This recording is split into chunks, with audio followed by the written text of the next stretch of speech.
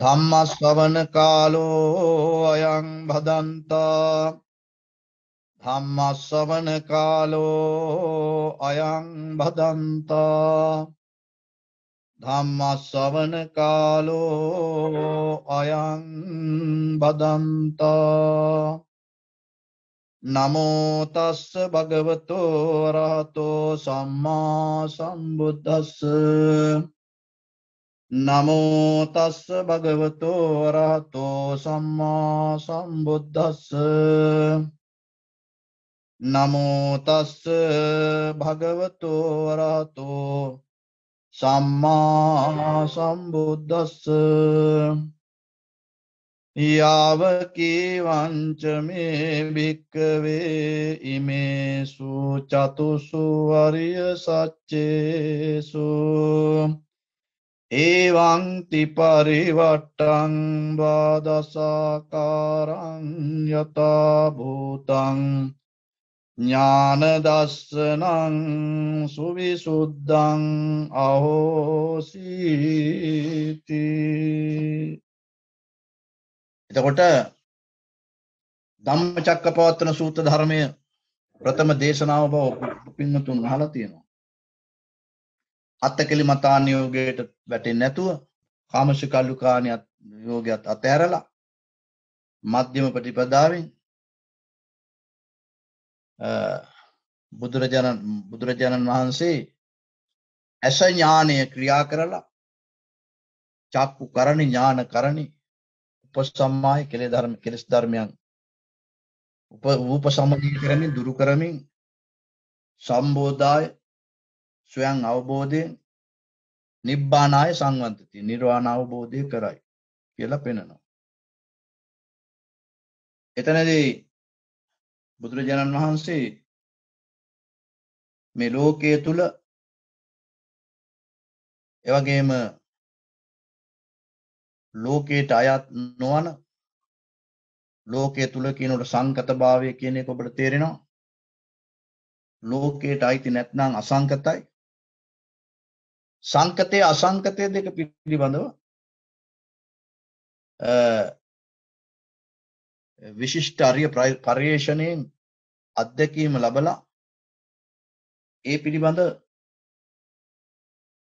හෙළිදරව් කිරීමක් තමයි දේශනා කිරීමක් තමයි සිද්ධ කළේ. එතකොට චතුසු අරිය සත්‍යසු ආර්ය සත්‍ය හතර. මොකද්ද? දුක්ඛාර්ය සත්‍ය, සමුදාය සත්‍ය, නිරෝධාර්ය සත්‍ය, මාර්ගාර්ය සත්‍ය. දුක්ඛාර්ය සත්‍ය, සමුදාය සත්‍ය දෙක අයිතිනේ ලෝකෙට. ජාතිපි දුක්ඛං ජරාපි දුක්ඛෝ ව්‍යාප්තිපි දුක්ඛං මරණම්පි දුක්ඛෝ ආදී වශයෙන් කතා කරන ඒ හට ගැනීමේ දුක පිළිබඳව දේශනා කරේ දුකට හේතුව ආශාව උපාදාන වෙලා. ඒ පැත් ඒවා සංකතයි. ඒවා සංකත ධර්ම. දුක නිරෝධය දුක දුරු වුණු තැන. දුක්ඛ නිරෝධය. දුක්ඛ නිරෝධය අසංකතයි.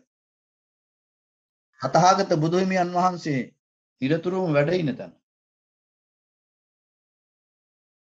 අසු මහා ශ්‍රාවකයන් වහන්සේ සව් කෙලසුන් නැසූ සියලුම පින්වතුන්ලා වැඩ ඉන්න. පුජ්‍යල ස්වභාවයේ ඉන්නේ පුජ්‍යල ස්වභාවය දුරුයි. ඒ අසංකත ධාතුව දුක්ඛ නිරෝධය. ඒ සාත් කෙරේ ඒ ඒ මගේ හැසිරීම තමයි ප්‍රතිපදාව වශයෙන් සම්මාදිට ප්‍රඥාවෙන් යුතු සංකප්ප වාචා කම්මන්තා ජීවය සත සමාධි කියන අරියංග අරියට්ටන්ගේ මඟ සම්පූර්ණ කිරීම. ඒ අරියට්ටන්ගේ මඟ සම්පූර්ණ කිරීමට කියනවා සංඝරත්. ඉතින් මේ විදිහට චතුරාර්ය සත්‍ය ඒ ආර්ය ශ්‍රාණික මාර්ගය සම්පූර්ණ කිරීමෙන් චතුසත්‍ය අවබෝධය ලැබුවට කියන ලැබු තැනට කියන්නේ මොකද්ද බුද්ධ කියලා. ඉතින් මේ සඳහා සත්‍ය ඥානය, කෘත්‍ය ඥානය, කෘත ඥානය වශයෙන්. සත්‍ය ඥානය, කෘත්‍ය ඥානය, කෘත ඥානය වශයෙන්. දුක්ඛාර්ය සත්‍යයක් සමුදාර්ය සත්‍යයක් නිරෝධාර්ය සත්‍යයක් නිරෝධගාමිනී ප්‍රතිපදාව සත්‍යයක් ඒ සත්‍යය පිළිබඳව ඥානය ඇති වෙනවා. එපමණකින් බෑ. ඊට පස්සේ සත්‍යයට අනුව ක්‍රියා වෙනවා. කෘත්‍ය ඥානය ඒ සත්‍යයේ ක්‍රියාවෙන් ක්‍රියාකාරීත්වයලා පවතින්නේ කොහොමද මේ සත්‍යය සත්‍ය ක්‍රියාවෙන ආකාරය. ඒ පිළිබඳව දැක්ම ඇති වෙනවා කෘත්‍ය ඥානය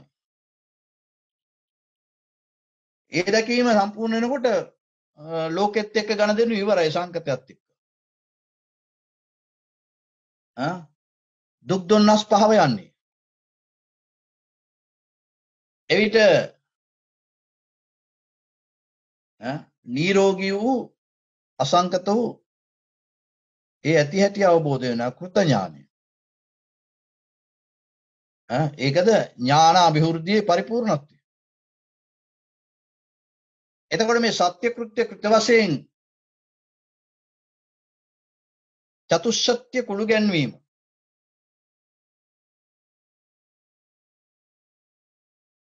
ඒ විතරකුත් නෙමෙයි ඒ අවස්ථා තුනක කෙලෙස් වට්ටේ කර්ම වට්ටේ විපාක වට්ටේ කියන ත්‍රිවිධ වට්ටේහි සත්‍ය කෘත්‍ය කෘත වශයෙන් චතුරාර්ය සත්‍ය පුළු ගන්නවා දැකීම තමයි ත්‍රිපරිවෘත්තය එයාගේම ද්වාදශ කියන එකේ තේරුම. ද්වාදශ කියන්නේ 12 කියන එක. ද්වාදශ. ඒවං ත්‍රිපරිවට්ටං ද්වාදශාකාරං යතහභූත ඥාන දර්ශනං සුවිසුද්ධං අහෝසි. එත 12 ආකාරය. කෙලස් වට්ටය තුල දුක දැකලා හේතුව දැකලා නිරෝධය දැකලා නිරෝධගාමී ප්‍රතිපදාවේ ඇසිරීම. ඒ විතරක් නෙමෙයි එහි සත්‍ය කෘත්‍ය කෘත වශයෙන් දැකීම. ඊළඟට කර්ම වටේට එනකොට එහි දුක දැකලා හේතුව දැකලා නිරෝධය දැකලා නිරෝධගාමී ප්‍රතිපදාවේ ඇසිරීම. එහි සත්‍ය කෘත්‍ය කෘත වශයෙන් දැකීම. ඊළඟට විපාක වටේ තුල දුක දැකලා හේතුව දැකලා නිරෝධය දැකලා නිරෝධගාමී ප්‍රතිපදාව හැසිරීම එහි සත්‍ය කෘත්‍ය කෘත්‍ය වශයෙන් දැකීම. දැන් එතකොට වට්ට තුනේම 12 12 ආකාරයකින් ආ සත්‍ය කෘත්‍ය කෘත්‍ය ඥාන පහළ වෙන එක. එහෙම මේ චතුරාර්ය සත්‍ය පිළිබඳව ඉතා විශිෂ්ට වූ පර්යේෂණයක් සිද්ධ වුණා. ඒ පර්යේෂණය සිදු කිරීමේ ඇස් ටික ඔබ දන්නවා. චක්කුන් උදපාදි ඥානං උදපාදි පඤ්ඤා උදපාදි විඥා උදපාදි ආලෝක උදපාදි. මනස නනස ප්‍රඥාස විද්‍යාස ආලෝකයස කියන මෙන්න මේ ඇස් පහ පහළ වුණා. එකම ඇහි පරිපූර්ණත්වය. චක්කුන් උදපාදි කියන එහෙම තියෙනා වූ සංවර්ධනය. ඒ පරිපූර්ණත්වය තමයි ආලෝක උදපාදිය කියවෙන්නේ. අසංකතයි. තථාගත බුදු හිමිය. අසංකත ධාතුව සාක්ෂාත් කර. දැන් ඔබගෙත් මගෙත් ජීවිතේ උතුම් අර්ථය විය යුත්තේ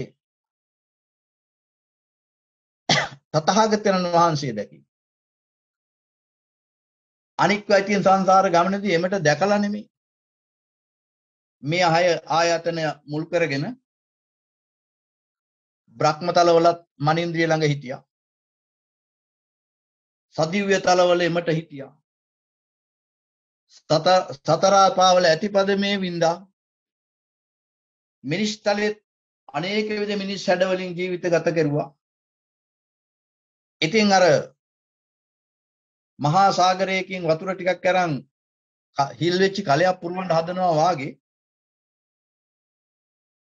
මේ ආයතන හයට මේ විශ්ව ධාතුවෙම පවතිනා වූ රූප ශබ්ද ගන්ධ රස ස්පර්ශයන් පිළිබඳව එකතු කරන්න උත්සාහ කෙරුවට මොකද උනේ අපිට? පල්ලහිල්ල වෙච්චි කලෙන් වතුර ටික ගියා වගේ. නිරාර්ථකයි හිස් පුහු. ලබපු දෙයක්. නෑ. ඒ වුණාට ලබන්න ඕනකම එහෙම පිටින්ම තවම අපේ ඉව ඉවර වුණාට අලුතෙන් අලුතෙන් ලබන්න බලන්න හදන ඕනකම. මේකට කියනවා සසර ගමන යනවා. දැන් මේ ඕනකම් ඔක්කොම ඉවර වෙච්ච තැන තථාගත බුදුරජාණන් වහන්සේ. මිනිස්සු ජීවත් වෙනකොට සතා සර්පයොත් එහෙමයි මිනිස්සුත් එහෙමයි. නොයෙක් විදිහට වහසි බස් දොඩමින් වචන කතා කරමින් චණ්ඩිකන් එහෙම කතා කරන ඕන තරම් මිනිස්සු. අපි බය නැහැ අපි කිසි දෙයකට හෙල්ලෙන්නේ නැහැ ආදි වශයෙන් නොයෙක් විදිහේ ආක්‍රෝෂ පරිභව නොයෙක් විදිහේ හපංකම් කතා කරනවා. ඒ වුණාට එකෙක්වත් චණ්ඩි නෙමෙයි. ආ? ඔය කාට හරි නිදිකුම්බ කට්ටක් ඇරිච්ච ගමන් ඌ යම්මේ කියනවා. කඩියෙක් කාපු ගමන් කෑ ගහනවා. ඉතින් චණ්ඩි නෑ ලෝකේ. හැබැයි චණ්ඩි ඉන්නවා කවුද? ලෝකෙට අයිති නෑ. තථාගත බුදුරජාණන් වහන්සේ. ආ යසු මහ ශ්‍රාවකයන් වහන්සේලා ප්‍රමුඛ. ආ ඒ ආර්ය ශ්‍රාවක ශ්‍රාවිකා ඒ මහෝත්තමයන් මහෝත්තමයන් තමා අසංකත ධාතුවේ පිරිනුවම් වැඩපු අය. අසංකත ධාතුව සාත්සාත් කරන අය. කළ අය. ඒ තමා චණ්ඩි. මොකද තුලම පවත්නා ආයතන හයේ මාර පායාශයෙන් මිදිච්චි. ආයතන ආයේ මාර පායාසයට බැදි වෙච්චි අපිට මේ දිරාදිරා යන කුඩු ගොඩක් අල්ලාගෙන හතර මහා භූතයකින් හැදුණු නමදොරකින් ගලන මේක ඉඳගෙන වාසි බස් චණ්ඩි කතා කතා කරාට ඒ චණ්ඩි නෙවෙයි චණ්ඩි තමයි අර මාර්යා පරාජය කරපු අශ්වාස ප්‍රශ්වාස ක්‍රියාවලිය නතර වුණු සකල ක්ලේශයන් දුරු වෙච්චි මේ මහෞත්තමයන් වහන්සේ. එහෙනම් ඔබත් මමත් ටික ටික හරි ප්‍රගුණ කළ යුත්තේ කොතෙන්ද යන්නද? අර චණ්ඩියෙක් වෙන්න. ඒ චණ්ඩියා වෙනකොට මේ පැත්තේ ඉන්න සාන්තම මුනිවරේ සමාජය තුල ඉන්නා වූ බොහොම සාන්ත දාන්ත මුනිවරයෙක් බවට පත් වෙනවා. ගැහුවත් බැන්නත් කෙටුවත් මැරුවත් නිස්සද්ද වෙන මුනිවරයෙක් බවට පත් වෙනවා. ආන් හැබැයි චන්දිය. එහෙම එවැනි තැනකට අපේ සිත සාස්සාත් වෙන පහළ වෙන නිරෝධය පහළ වෙන ආකාරයකින් අපේ සත්‍ය කෘත්‍ය කෘත වශයෙන් චතුස්සත්‍ය අවබෝධ කිරීම කොහිද කෙලෙස් වටේහි කර්ම වටේහි විපාක වට්ටිය කියන මේ ත්‍රිවිධ වට්ටිය. මේක පරිපූර්ණ කරපු මහ බෝසතාණන් වහන්සේ වදාරනවා යවන්ති පරිවට්ටන් ද්වාදශාකාරයි යතහභූත ඥාන දර්ශන. සුද්ධං අහු. සම්පූර්ණයෙන්ම ඇති ඇති අවබෝධ කළාය.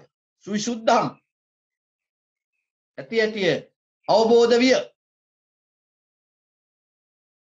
ඉතින් ඒ සඳහා ඔබත් මමත් අපිටම තියෙන පර්යේෂණාගාරය මොකක්ද? අනේ නව මාසයක් අම්මගේ කුස ඇතුළේ ඉඳලා එළියට ආපු තැන ඉඳලා මේ සිරුරත් සිතත් දෙක අතරේ තිබුණා වූ ගණදෙනුව පිළිබඳව විමසා ගවේෂණය කරන එකම තමයි. වෙන බලන්න වෙන පර්යේෂණාගාරයක් නැහැ. එතකොට අවබෝධ කරන්න වෘක්ෂයක් මේ සිරුර. එතකොට මව් ගැබෙන් එළියට ආපු අපිට එළියට ආවා කිව්වට අපි හිතලාව නෙමෙයි ක්‍රියා ප්‍රතික්‍රියා වශයෙන් ගර්භවාතයේ කිපීම තුල දරුවා බිහි වෙමින් පෙකෙන වෙලා ආධාරයක් කැපුණට පස්සේදී මේ අසකරනාසේ දිව ශරීරයේ කියන ඉන්ද්‍රිය පහ ජීව ජීවය ලබන්න ඉන්ද්‍රිය පහට ජීවය ලබන්නට පුළුවන් වුණේ නාසයෙන් ආශ්වාස වාතයේ ජීව වාතය ඇතුළු වුණාට පස්සේ. නාසයේ තියෙන රැල් කැඩිලා ඇතුලේ තියෙන කිලිටිය එළියට පිට වෙනකොට එළිය ඇතුළ හිස් නිසා පිටින් ජීව වාතය සිරුරතුරට ඇතුළු වුණා. ඒ හේතු ප්‍රත්‍යයෙන් මේ ඉන්ද්‍රිය පහේ පණ පිහිටියා. ඉන්ද්‍රිය පහට ජීවය ආවා. ඉතින් මුල් යුගයේදී මේ ඉන්ද්‍රිය පහට පණ පිහිටියට හැපුණට ගැටුණට කිසිම දෙයක් දන්නේ නැහැ. බොහොම ප්‍රබස්වර බවක හිටියේ. අපි ඔතෙන්ද කියනවා ගැටුණට දැයින් නැති නිසා බරණැස් නුවර කියලා. බරණැස් නුවර. හැපුණ නැසුණා මිසක් මොකුත් දන්නේ නැහැ. තව චුට්ටක් මෙහාට එනකොට ලොකු මහත් වෙනකොට හදේ වස්තුව තුල තියෙනා වූ මනින්ද්‍රිය ළඟ මේ ඉන්ද්‍රිය පහට හැපෙන දේවල් කොටස් කර වෙන් කරගෙන මනින්ද්‍රිය ළඟ ඒවා භාවිතා වෙලා අතහැරෙනවා. මනින්ද්‍රිය ළඟ භාවිතා වෙලා අතහැරනකොට එතන ඇති වෙනවා මතක ගබඩාව. අනුක්‍රමයෙන් ටික ටික. ඊට පස්සේ මොකද වෙන්නේ? මෙහෙන් හැපෙන හැපෙන වාරයක් පාසා ඈ කරනාශයේ දිව ශරීරයේට වටා පිටාව හැපෙන හැපෙන වාරයක් පාසා අර මනින්ද්‍රිය ළඟ අර භාවිතා වෙච්චි මානසිකාර නැගෙනවා. මෙහෙන් හැපෙනකොට අම්මා කිරිසුවඳ කියන එක හැපෙනකොට චූටිම දරුවාට පළමුවෙන් ওই ටිකේ හම්බෙන්නේ. අම්මා කියන රූප ඡායාව හැපෙනවා. එතන උරා බොනකොට කිරිවල සුවඳ රසය දැනෙනවා. ඒක මෙහෙන් වැඩිපුර භාවිතා වෙනකොට අර මානසිකාරය ළඟ ඒ සම්බන්ධව සැලස්මල් භාවිතා වෙලා අතහැරෙනවා. කිරි සුවඳ කිරි රස අම්මා කියන එක භාවිතා වෙලා අතහැරෙනවා. දැන් මෙහෙන් ආයෙ නැවත මේවා හැපෙන හැපෙන වාරයක් පාසා අතර මනින්ද්‍රිය ළඟ මොකද වෙන්නේ? මනින්ද්‍රිය කිව්වේ කොහෙද? හදවත තුල. මතක් වෙවි එනවා. මේ මතක් වෙන්න ප්‍රධාන කාරණයක් වෙනවා මීට පෙර ජීවිතයේ කොටසක්. අවිද්‍යාව හේතු. මීට පෙරත් අපි ඔහොම මතක බඩාවල වල මතක් වෙම එකක ජීවිතය ගත කළානේ. එතන ඒ අවිද්‍යාව හේතුව කරගහලා මෙහෙම මේ හැපෙන ඒවා අතර භාවිතා වෙවි මතකයක දැන් නැගිටින නැගිටින එනවා. දැන් ඉතින් ටික ටික මෝරනකොට කිරි රසය මතකයි. කිරි සුවඳ දැනෙනවා. අම්මා මතකයි හොඳට. එතකොට යෑමී මතකයි. තමන්ගේ අතපය පවා භාවිතා වෙනවා. මම මගේය අනිකාය කියලා භාවිතා වෙනවා. සිරුරංග ප්‍රත්‍යංගයන් භාවිතා වෙනවා. කොතනද මනින්ද්‍රිය ළඟ? දැන් හොඳ පින්වත්තුන්ට තේරෙන්න ඔය ද්‍රව්‍යමය වැඩක් වෙන්නේ මේ ද්‍රව්‍යමය හැපීම් ෂණ ෂණ වශයෙන් උපකාර වුණාට බාහිරට අර මනින්ද්‍රිය ළඟනේ දැන් මේ පටන් ගන්න. එන්නේම මතක ගබඩාවක් අපිට ඇති වෙනවා. මෙන්න මේ මනින්ද්‍රිය ඊට පස්සේ එතන මොකද වෙන්නේ? ජාතිය වශයෙන් අර පෙර ජීවිතේ අවසාන වෙච්ච ටිකට අනුව පෙර පෙර හේතුවට අනුව මෙතන භාවිතා වෙලා අතහැරෙමින් දැන් මේ වටපිටාවේ ආගන්තුකව මුණ ගැහෙන ඒවා දැන හඳුනා ගැනීමක් සිද්ධ වෙනවා. ප්‍රබස්සර මිදම් භික්කවේ චිත්තං තංචකෝ ආගන්තුකෙහි උපක්කිලිශ්යේ උපක්කිලිට්ටං භාග්‍යවතුන් වහන්සේ වදාරනවා. සිත ස්වභාවයෙන්ම ප්‍රබස්වරයි පැහැදිලි. දැන් කොතනද අර අර චූටිම වෙලාවේ ඉන්ද්‍රියන් ටික තිබුණා ඉන්ද්‍රියව සජීවී කරණයයි ඒ එසේ වුවත් හැපෙන හැපෙන දේවල් එතන එතනම නැති වෙලා යනකොට එවැනි තැනක තිබිච්ච සිත ප්‍රබස්වරයි. හරියට අර පැහැදිලි කැඩපතක් වගේ. ඒ සිත ළඟ දැන් මොකද වෙන්නේ? මේවා හැපෙන්න හැපෙන්න මනින්ද්‍රිය ළඟ ඒ සිත ළඟ භාවිතා වෙවි අතහැරිලා මතක ගබඩාවක් ඇති. තංචකෝ ආගන්තුකේ උපක්ලිෂම්. බාහිරෙන් හැපිච්ච දේවල් උපකාර කරගෙන අවිද්‍යා හේතුව දුරු නොවිච්ච කමින් මතක ලෝකය හැදෙනවා. දැන් ඒ විදිහට තමයි අපිට මම මගේ ඉන්නවාය තියෙනවාය මගේ අතපය ආදිය එතකොට මේ ආදී වශයෙන් කොටස් කර වෙන් කර දැකීමකට පත් වෙන්නට පුළුවන් වුණේ. පත් වීම සිද්ධ වුණේ. ඒ අතරේ මොකද එන්නේ ලෝභ දේශ මොහ අලෝභ අදේශ අමෝහ වශයෙන් සංඛාර වෙනවා. අර මනින්ද්‍රිය ළඟ.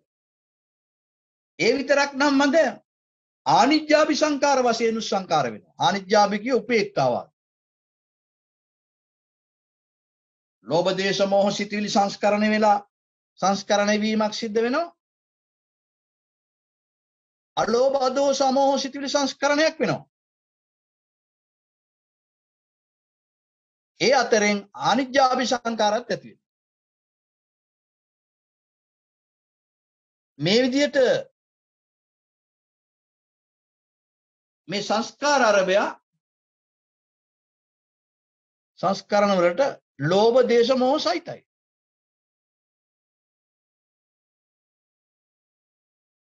දැන්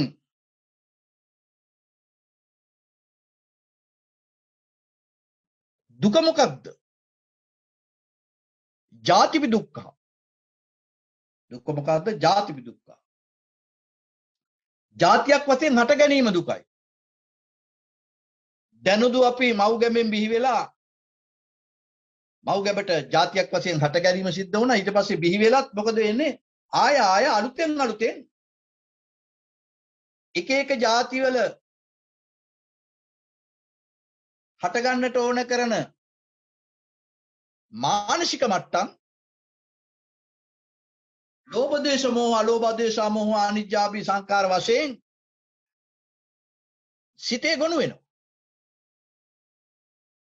ඉතින් මේකෙදි යනවා ජරාව ව්‍යාධිය මරණය ශෝක පරිදේ දුක් දුන්නස්.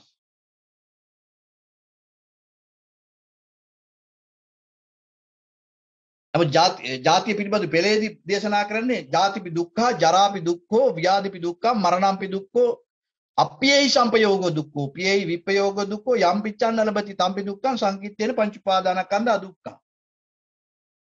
જાතියක් වශයෙන් හටගත්තට පස්සේ ජරාවට යන එක වළක්වන්න බෑ. ලෙඩ රෝග හැදෙන එක වළක්වන්න බෑ. ශරීර කූඩුවට. ඒ වගේ මරණය වළක්වන්න බෑ. ඒ කැමති දේවල් ලැබෙන්නේ නැහැ.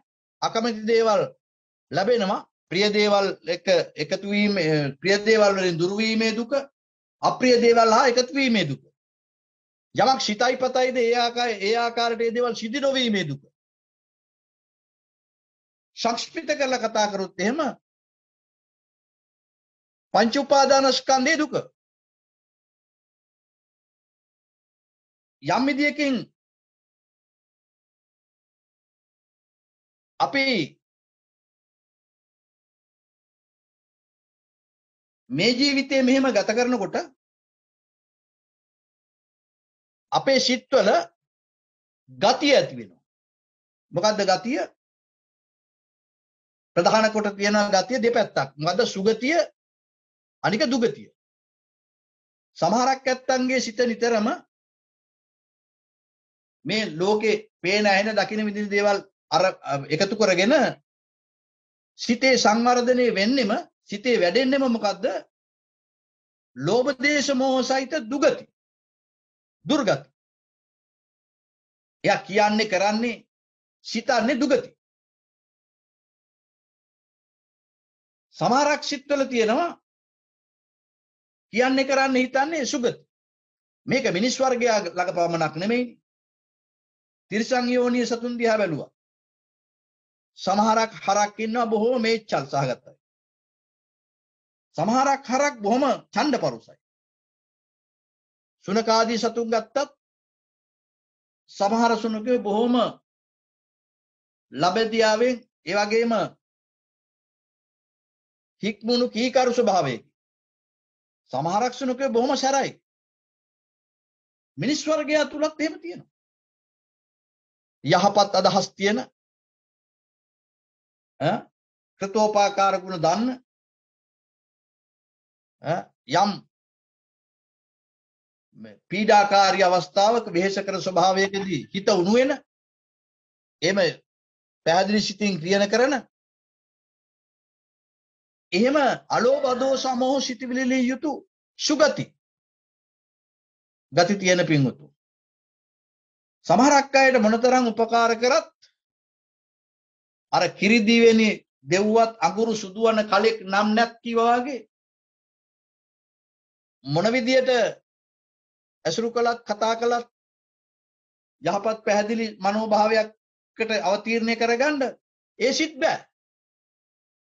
එතකොට තරහෙන් වෛරයෙන් ක්‍රෝධයෙන් උණුනුන් කෙරෙහි පවතිනා වූ මේ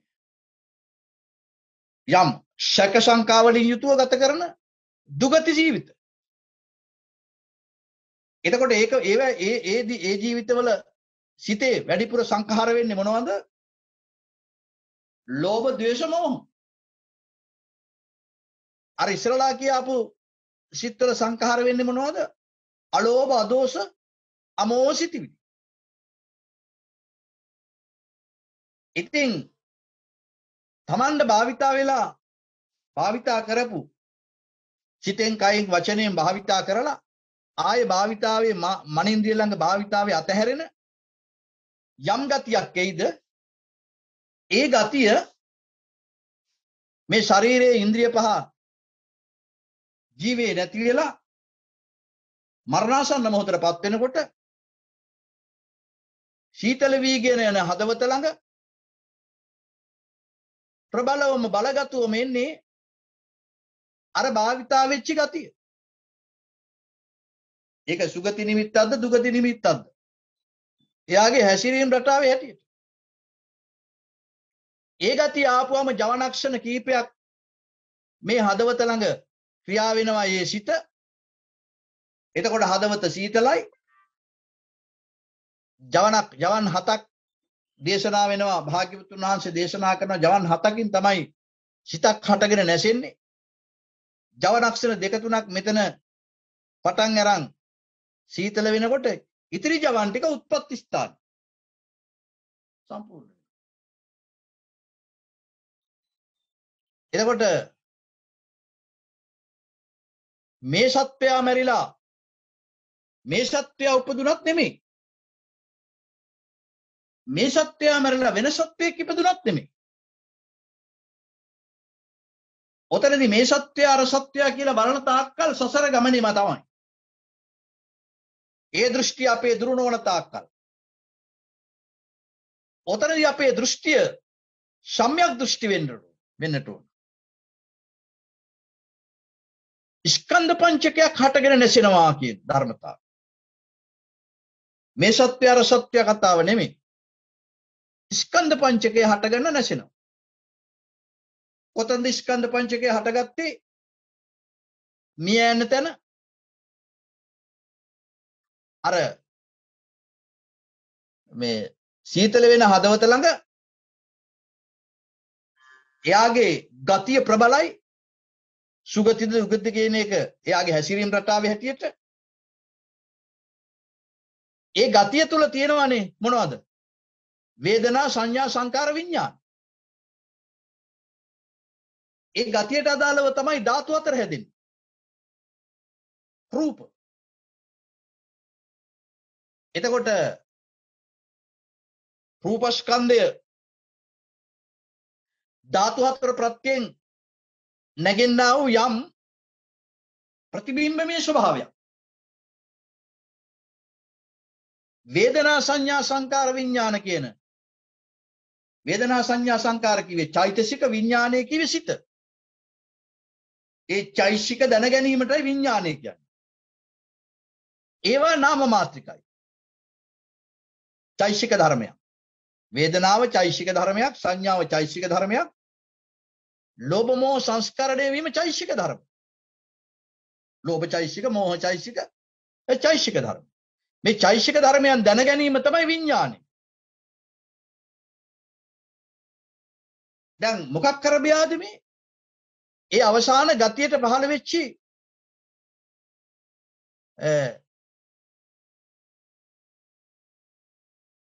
අර කැඩපත තුළින් දකින්න ඡායාව වැනි ගතියට. එතකොට ඒක ධාතු අතරින් සමන්විත වූ ධාතු අතර ප්‍රත්‍යයෙන් හටගත්තා වූ ඒ රූප ඡායා වර්ගය විඳිමින් හඳුනමින් දැනගෙන ලෝභ මෝහ සංස්කරණය වීම. මෙන්න මෙහෙම සිද්ධියක් උතන උනේ විශ්වීය වූ පුජ්‍යල අයිතියකට අදාළ නොවන සිද්ධියක් වුණා. ඒ සිද්ධිය ආරම්භ වුණා මේ සීතල වෙන හදවත ළඟ.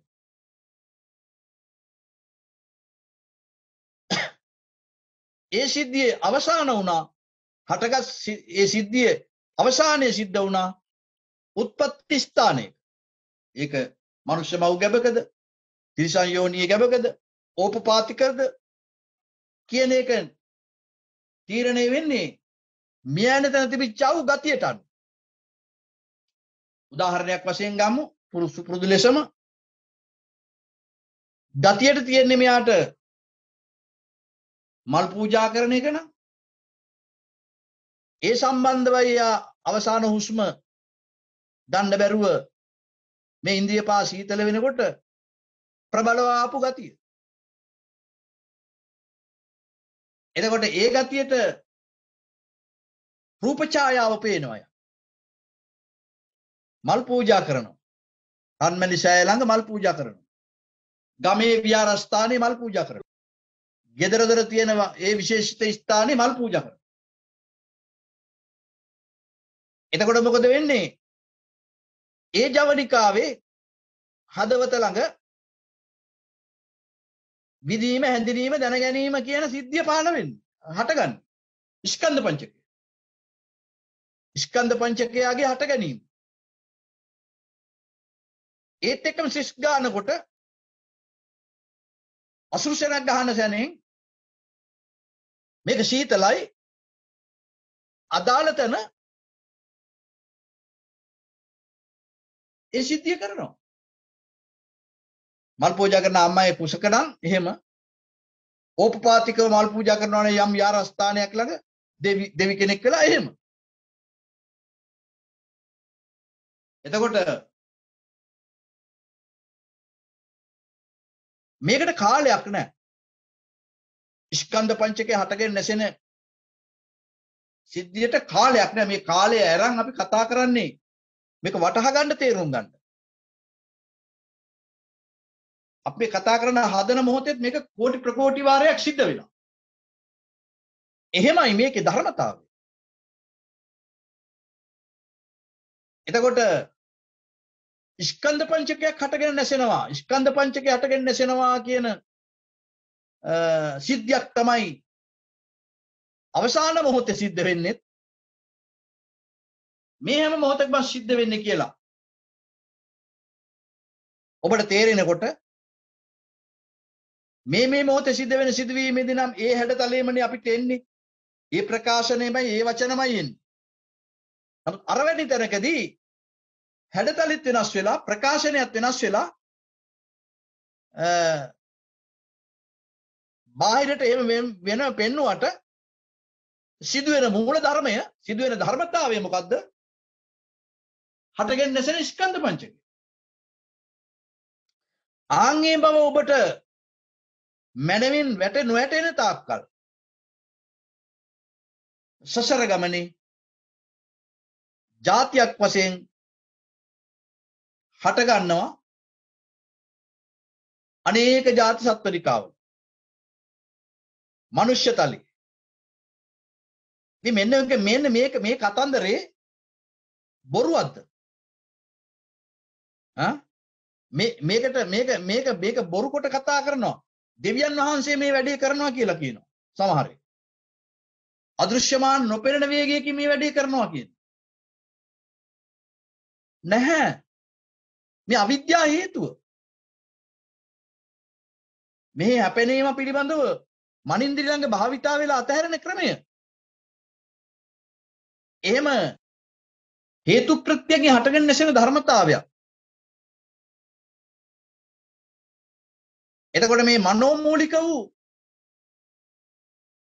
මානසික ක්‍රියාවලියක් එය මානසික බව නොදක්නා තාක්කල් ඔබත් මමත් ජීවත් වුණාට නැගිට්ටට ඇවිද්දට කතා කළාට ආවට ගියාට දවස පරිහරණය කළාට අපිට ඔබට තාම මට තේරුණේ නැහැ දැක්කේ නැහැ පැහැදිලි වුණේ නැහැ එළිය වැටුනේ නැහැ මේක මනෝමූලික ධර්මතාවයක්. මේක මනෝමය ක්‍රියාවලියක් කියලා යම් විටක ඔබට මට පැහැදිලිව දකීද? ඒ දකින තැන ඉඳලම හිස ගිනි ගත්ත කෙනෙක් ඒ ගින්න නිවා ගන්නට යම්සේ උත්සාහ කරයිද? ඒහා සමාන වේගයකින් මේම දැකීම කරන කොටගෙන ක්‍රියා වෙනවා හැර. ඒකට ඕපනායක ගුණය කියලා ධම්මෙදි කියන්නේ. වෙනත් කිසිවක් නැහැ. අපිට ධර්මයේ ශ්‍රවණය කරන සාකච්ඡා කරන මෙනෙහි කරන වෙලාවකුත් තියෙනවා. ඒ වැඩේ පැත්තක තියලා දරුවල්ලන්ගේ වැඩ කරන රැකී රස්සා කරන ජීවත් වෙන කන බොන වෙන වෙනත් වැඩ කටයුතු කරන වෙලාවකුත් තව තියෙනවා. මන්ද ඔය පරතරේ තියෙන තාක්කල් අපිට තථාගත වැඩ ඉන්න තැන දකින්න අමාරු. අපිට පරතරේ නැති වෙන්න වෙනවා. අනුක්‍රමයෙන් අනුක්‍රමයෙන් ඔය පරතරේ නැති වෙන්න වෙනවා. ඒකට කියනවා මොකද්ද? කෘත්‍ය ඥානය. ඔය පරතරේ නැති වෙන තැනට ක්‍රියාව වෙන එකට කියනවා කෘත්‍ය ඥානය. ක්‍රියාව කොච්චර වෙන්න ඕනද? ඇයි දැන් අපිට තේරලා තියෙන සත්‍ය මේ මේ සත්‍ය සත්‍ය ඥානෙ මොකද තේරලා තියෙන්නේ? જાතියක් වශයෙන් මෙතන හටගත්තා වාගෙම ජරාවට ව්‍යාධියට මරණය ශෝක පරිදේ මේ සහ මේ මේ ප්‍රිය දේවල් ලැබෙන එක අප්‍රිය දේවල් සිතුපතු දේවල් ඒ විදිහට සිද්ධ වෙනවා කියන ධර්මතාවය සීයන් නුවණක් කල්පනාවක් තියෙන ඕන කෙනෙකුට තේරෙන දෙයක්. ඒ වගේම සිතේ බලවත් ලෙස භාවිතාවේදී යම ඒ බලවත්ව යා භාවිතාව වෙන දෙයට අනුව මරණ මංචකයේදී ඊට අදාළව කාරණයක් ඇවිල්ලා ලෝභ දේශ මොහ අලෝභ දේශ මොහ ආකාරයට අනේක ಜಾති සත්වනිකාවල ඉපදිලක් තියෙනවා අතීත වශයෙන් එබට දැනුදු මේ කාරණේ මනෝමූලික ධර්මතාවයක නැත්නම් හටගෙන නැසෙන ස්කන්ධ පංචකය බවට පූර්ව ප්‍රත්‍යක්ෂයක් නොවේද ඒතා එයා මෙයා ඒදේ මම අනු මේ මගේ මේ අනිකාගේ කියන දෘෂ්ටිමය ස්වභාවය දිව්‍ය තලවල මනුෂ්‍ය තලවල බ්‍රහ්ම තලවල සතර අපාවල 31 තලයක જાතියක් වශයෙන් හට ගැනීමේ ධර්මතාවයෙන් ඔබවත් මමවත් දුර වෙලා නැහැ. එහෙනම් දුක්ඛේ ඥානම් පිළිබඳ සත්‍යතාවයක් අපිට තියෙනවා. සත්‍යයි. ඒක සත්‍යයක්. දුක පිළිබඳව. දැන් එතකොට මෙතන දුක කිව්වේ මොනවාද මේ බත් ටිකක් කන්න නැතිකම හරි ඈ ඇඳ ගන්න වස්ත්‍ර නැතිකම හරි කියන කතන්දරේ එහෙම නෙමෙයිනේ දැක්කනේ කොච්චර පළල් සිද්ධියක්ද 31 තලයකම උත්පත්ති ධර්මයේ ඔය හැම වෙලාවකම ගත්ත හුස්ම හෙලන්න බැරුව අර මාළුවා ගොඩට දාපුවාම ගැහෙනවා වගේ. බයෙන් තැති ගැනීමෙන් ගැහෙමින් විදිමින් නේ අපිට මේ ඉන්ද්‍රිය පහ සීතල වෙනකොට අර මනින්ද්‍රිය ළඟට අවධානය යන්නේ ඒ ගිහිල්ලා එතනින් මොකක් හරි ඊට අනුව කර්මානුරූප කර්ම නිමිත්තක් ඇවිල්ලා ඊට අනුව උත්පත්ති ධර්මයක් සිද්ධ වෙන්නේ. ඒකෙදිත් වඩා වටිනවා මිනිස්තරවල මිනිස්තරවලම යනවනම්. අනේ කර්මයක් වෙලා බැරි වෙලාවක් අධික ලෝභය අධික දේශය මේ අහනි සිද්ධිය නිසා අර පැත්තකට හැරුණොත්? හතර පහත් පැත්තකට හැරුණොත්? කවදා කොහෙන් කෙලවර වෙන්නේ සිතක් නිතරම පෙළමිලා තියෙන්නේ. පුණ්‍යකාමී බවට වැඩිය පාපකාරී බවට. මොකද කාම අරමුණු විශේෂ ආශක්ත භාවයක් සිතේ පවතින්නේ. යත්ත කාම නිපාතිනෝ කාම අරමුණු විශේෂ පතිත වීමයි සිතේ ස්වභාවය. එනිසා සිත නිතරම අර නිහඬ නිරවුල් ආධ්‍යාත්මික නිවීමට වැඩිය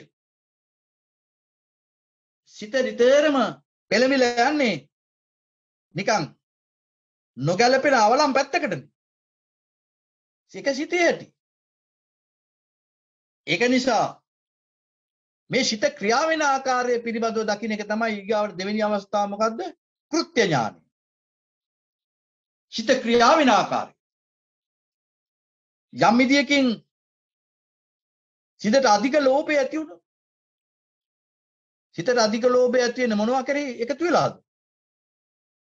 ඇසුරු කරන්නා වූ පරිහරණය කරන්නා වූ කාමවස්තුන් විශේෂයි පවතිනා වූ දැඩි සම්බන්ධතාවය කාමවස්තු වලට බොහොම වටිනාකම් දීගෙන කාමවස්තුත් එක්කලා දැඩිව තව තව තව තව තව නැවත නැවත නැවත කාමවස්තුත් එක්කලා පෛරුපාෂානන් වීම අපේ සිතේ වැඩි නම් ඒවා ලැබෙනකොට ඒවා කැඩෙනකොට බිඳෙනකොට ඒවා අනික් අය ගන්නකොට සිතට නිතරම ඇති වෙන්නේ මොකද්ද? තරහ. ඒවා කෙරෙහි ලෝභය. ඒ නිසා මොකද? ලෝභය අධික ලෝභය බවට පත් වෙනවා. මුලාව නිසා තරහව අධික තරහ බවට පත් වෙනවා අධික දේශීය බවට මුලා වෙච්ච එකම තව තවත් වැඩියෙන් මුලා වෙනවා. අධික මුලාවට යනවා. අධික දේශයෙන් අධික ලෝභයෙන් අධික මුලාවෙන් මරණාසන්න මොහොතදී හදේ ළඟ සීතල වෙන හදවත ළඟ එන ගතියට අධික ලෝභය නිසා ගිහිල්ලා අසුරාපායනේ උපදින්නේ වෙන කොහෙද උපදින්නේ කියන්නේ අසුරාපායට යන්නේ මේ මැරෙන මිනිස්සු හැම එක්කෙනාම මරණයෙන් මත්තදී ආයෙත් නිස්තලයේම ඉපදෙනවයි කියලා බුදුරජාණන් වහන්සේ වදාලා මහණනි මම එසේ නොකියමි. මොකද අධික ලෝභය නිසා ගිහිල්ලා තල්ලු වෙනවා සතර අපාය. ඒකෙත් ලෝභේ සතර අපාය අධික ලෝභය නිසා යන්නේ പ്രേත ලෝකේ. අධික දේශය නිසා අසුර ලෝකේ, යක්ෂ ලෝකේ. අධික මෝහය නිසා නිර්ය අපායට. ලෝභ දේශ මෝහයන් හැම එකකම එකට ක්‍රියා වෙනකොට තිරිසන් යොමු. මද දැන් අනේ දෙවිය බ්‍රහ්මයේ යකේ රාසයේ ගිහිලා තල්ලු කරුවද අපි අවශ්‍ය තැනට? ඒ ඒ පසුබිම් වලට නෑ. අපේම සිතේ ලෝභ දේශමෝ මොනවා අරබයාද අපි ලෝභ දේශමෝ අධික උනේ? කාමවස්තු අරබය. ඒවා පරිහරණය කිරීමේදී ඒවායේ හැටිපාට ස්වභාවය තේරුම් ගන්නේ නැතුව ඒවා කරේ අධික ලෙස මත්වෙච්චහම සිද්ධ වෙන සිද්ධි. එතකොට ඒවායේ පවතින වූ අනිත්‍යතාවය ඒවා ලබන්නේ මගේ චිත්ත સંතානය තුල අර චූටි වෙලාවෙම වටපිටාවේ තිබිච්ච ඒවා ලැබුවා නෙමෙයිනේ ඒවා හැප්පෙනකොට හැප්පෙනකොට වැඩේ පටන් ගත්තේ මනින්ද්‍රිය ළඟනේ එහෙනම් මා තුලමයිනේ මේ මනින්ද්‍රිය ළඟ තමයි මේවා කතන්දරේ පටන් ගන්නෙ කියන යම් දහම් වැටහීමක් අවබෝධයක් නොමැති නිසා අධික ලෙස බැඳුනා. දරුවන් කෙරෙහි, ගේදොර කෙරෙහි, ඉඩකඩම් කෙරෙහි නොයෙක් ඒ වගේම නොයෙක් දේවල් කෙරෙහි. දැඩිව බැඳිච්චාම ඒක නිසා ඒවට ලෝභකම් කරපුවාම ඒ ලෝභකමට චුති ප්‍රතිසන්දියට වැටුනේ අර පැත්තට. പ്രേත ලෝකේ. ඒකෙත් තියෙන ඉතින් අනේක විද. ලෝභයාගේ විචිත්‍රත්වය තියෙනවනේ ලෝභෙත් තියෙනවා අනේකත්වය.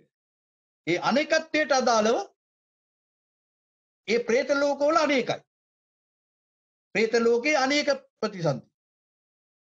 තරහව දේශ යක්ෂ ලෝකයේ අනේක ප්‍රතිසන්දි. ඒ වගේම නිර්යපායේ අනේක ප්‍රතිසන්දි. තිරිසන් යෝනියෙත් අනේක ප්‍රතිසන්දි බලන්නකො තිරිසන් යෝනිය සතුන්ගේ ස්වභාව ධර්මයෙන් හැඩතල හදලා දීලා තියෙන හැටි. අම් පොරකටු. ඒ වගේම හොඳට බූල් කෝට් වගේ කෝට් එක දී ළඟට ඈ විෂදල විෂලොම් ඈ ඉතින් මේවා මේ ඒ ඒ අයට ඒ ඒ ලෝභ දේශ මොහයන්ගේ අඩු වැඩි හැටියට දීලා විසිතුරු වූ විසිතුරු වූ ජෛව ලෝකයක් අපිට පෙන්눔 කරනවා. විසිතුරු වූ ජීව ලෝකයක් පෙන්눔 කරනවා.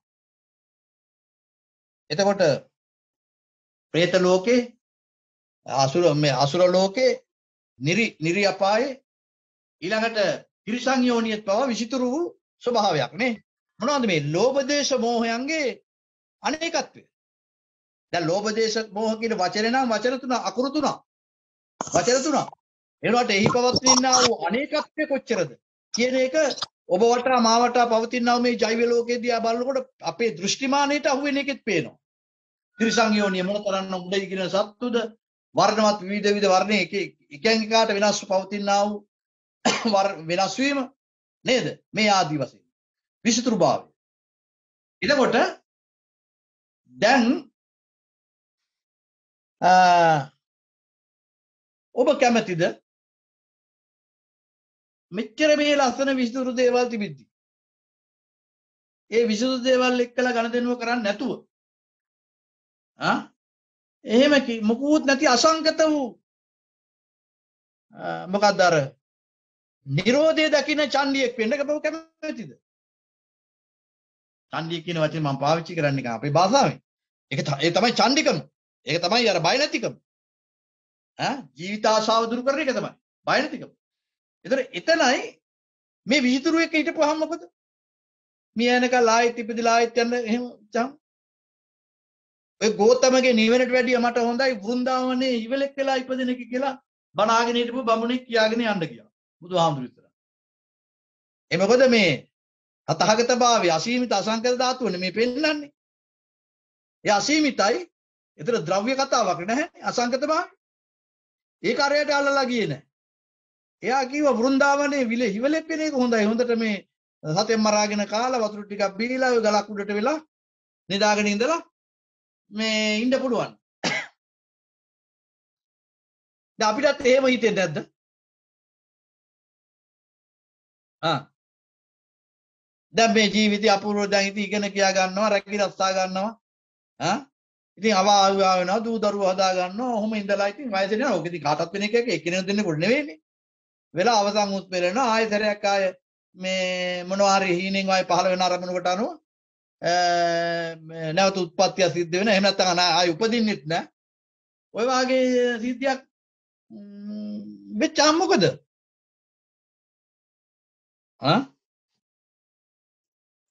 අපි ඊට වඩා මොකක්ද මේ නිරෝධයක් පිළිබඳ හොයන්නේ? ඒ හැම දෙයක්ම දුක ඇති වෙන නිසා. ආ ඒ හැම දෙයකින්ම දුක ඇති වෙනවා. ඒ කිව්වේ මොකද? ඒ හැම එකකින්ම මානසික වශයෙන් තියෙන්නේ මනෝමය පීඩනය මානසිකව නිතරම තියෙන්නේ අතෘප්තිකර භාවය කායිකව තියෙන්නේ නිදි කුම්භ කට්ටක් ඇනුවත් ආයෝයි කියන එක. පේනවනේ දැන් අපිට තියෙන ಜಾති කකුල් වලට අත්පා වලට ඈ? පොඩි හෝ සිද්ධියක් වෙච්ච ගමන් එහි විෂමතාවයට මහා බරපතල ලෙස වෙහෙස කර ස්වභාවය. මානසිකවත් මොනවා කරලා ඉඳලත් අන්තිමට ඒවා ඉවර වෙච්චාම ඇති වෙන්නේ නිකන් නිෂ්ප්‍රයෝජන නිෂ්ඵල බව. නේද? හැබැයි ඒක දැනෙන්නේ කාටද ඥානවන්ත. සිහි බුද්ධිය තියෙන කෙනෙකුට. සිහිබුද්ධිය නැත්තම් මොකද වෙන්නේ? ඒක පේන්නේ අර ආස්වාදයට නතු වෙලා ඈ ඒ මානසික සහ කායික දෙකේම ආස්වාදයට නතු වෙලා එයින් එහාට විපරම් කිරීමක් නැහැ. ශෝධිෂ කිරීමක් සොයා බැලීමක් නැහැ. පොදුවේ යන යාන්ත්‍රණයටම අදාළව කාටත් වෙන එකනේ මටත් වෙන්නේ කියන තැන ඉන්නවා. දැන් මෙතන මේක දුක්ඛ ධර්මතාවයක්. මේකේ නිමක් නැහැ. වෙහෙස කරයි. කියලා වැටෙන පින්වතෙක් තමයි මොකද කරන්නේ? අර කියන අර වෘන්දාවනයේ ඊළ වෙట్లా ඉන්නවා වාගේ යම් මේ බාහිර ලෝකයේ තියෙනා වූ විස්තරු දේවල් බල බල ඒවාට එකඟ වෙලා ඒවා තුල මොකද්ද මේ යමක් තියෙනවා කියලා හිතාගෙන නතර වෙන්න කැමති නැහැ. නතර වෙන්න කැමති නැහැ. හරියට එහෙම අනේක හරියට කොයි වාගේද මත්පැන් බීලා පුරුදු වෙච්ච මිනිසයා පාරක්කු බීලා පුරුදු වෙච්ච මිනිසයාට ඒ හවස ඒ වෙලාව එනකොට ඈ ඒ වෙලාව එනකොට මත්පැන් ටිකක් ඕනම මත්පැන් නෙවෙයි ගිනි වතුර ගිනි වතුර ටිකක් ඕනම එතකොට ඒක ගත්තාම මොකද වෙන්නේ මිනිහට ආයෙත් එනවා අමුතුම අර සියල්ල ලැබුණා වගේ තමයි. දැන් නිකන් කන බොන දෙයක් නෙමෙයිනේ. බොන දෙයක්නේ. කන දෙයක් නෙමෙයිනේ. බොන දෙයක්නේ. බිල ටිකක් වෙලා යනකොට සියල්ල ලැබුණා වගේ. හැබැයි ඒකේ තියෙන වෙරි ගතිය හිදෙනකොට ආයෙ දරයන් මොකද වෙන්නේ? අර තිබ්බට වැඩිය වෙහෙස කර මානසික පීඩනයකටපත් වෙනවා. ඒ පීඩනය දුරු කරගන්න මොකද කරන්නේ? ආයෙ වතාවක් අරව පාවිච්චි කරනවා. පාවිච්චි කරන වෙලාවට සියල්ල අමතක වෙලා මේ බොහොම සතුරු සහගත ස්වභාවයක්. වෙරි හින්දෙනකොට ආයශරයක් වැටෙන්නේ අර වේශකර ස්වභාවය. දැන් ඔන්න ඔහම එකට නේද අපිත් වැටලා තියෙන ජීවිතේ. බාහිර රාරක්කු නොබිව්වට යම් යම් දේවල් වලට එකතු වෙච්චාම ඒ වෙලාවට තියෙනවා නිකන් සියල්ල තියෙනවා වගේ පිරිලවා. නමුත් ඒ එකතු වීම ඉවර වෙච්ච හැටි ඒ ක්‍රියාකාරීත්වය ඉවරෙච්ච හැටි ආයසරම් මොකද්ද වෙන්නේ මානසික අතෘප්තියට. දුක්ඛ කියන එකේ තේරුම ඒකයි. මානසික වශයෙන්. කායික වශයෙන් අර කියන ජරාවට, ව්‍යාධියට, මරණයට එතකොට මේ මේ ඉන්ද්‍රයන්ගේ ප්‍රිය ස්වභාවය නැති වෙනකොට අප්‍රිය ස්වභාවයට පත් වෙනකොට අපි හිතන පතන කාරණේ ඒ විදිහට නොසිදු වෙනකොට ඇති වෙනා වූ දුක සංස්පිත කරලා ගත්තොත් මෙතන ද්‍රව්‍ය යන කතාවක් නෙමෙයිනේ තියෙන්නේ පංච උපාදාන ස්කන්ධය දුකනේ. ද්‍රව්‍යයන් එක්ක තියෙන ගණදෙනුවක් නෙමෙයි පෙන්වන්නේ අන්තිමට. මොකද්ද? ද්‍රව්‍යයන් කියලා අපි පිළිගත්තට එතන සිද්ධ වෙන්නේ නිතර මොකද්ද? අර ධාතු අතරින් සමන්විත වූ චිත රූප ඡායාවක් අරබයා වේදනා සංඥා සංකාර චෛසික ක්‍රියාවලියක් සිද්ධ වෙනවා. ඒකට කිසිදු හුදු පැවැත්මක් නැහැ. එතන හටගෙන එතන නැසෙනවා. එහි වේගවත් සිද්ධිය ස්කන්ධ පංචකයගේ හටගෙන නැසෙන වේගය වැඩිකමට නේද? එතන දෙයක් කාරණයක් කියලා අපි දැඩි මිත්‍යා දෘෂ්ටියකට එනි මිත්‍යා දෘෂ්ටියකට පැත් වෙලා තියෙනවා.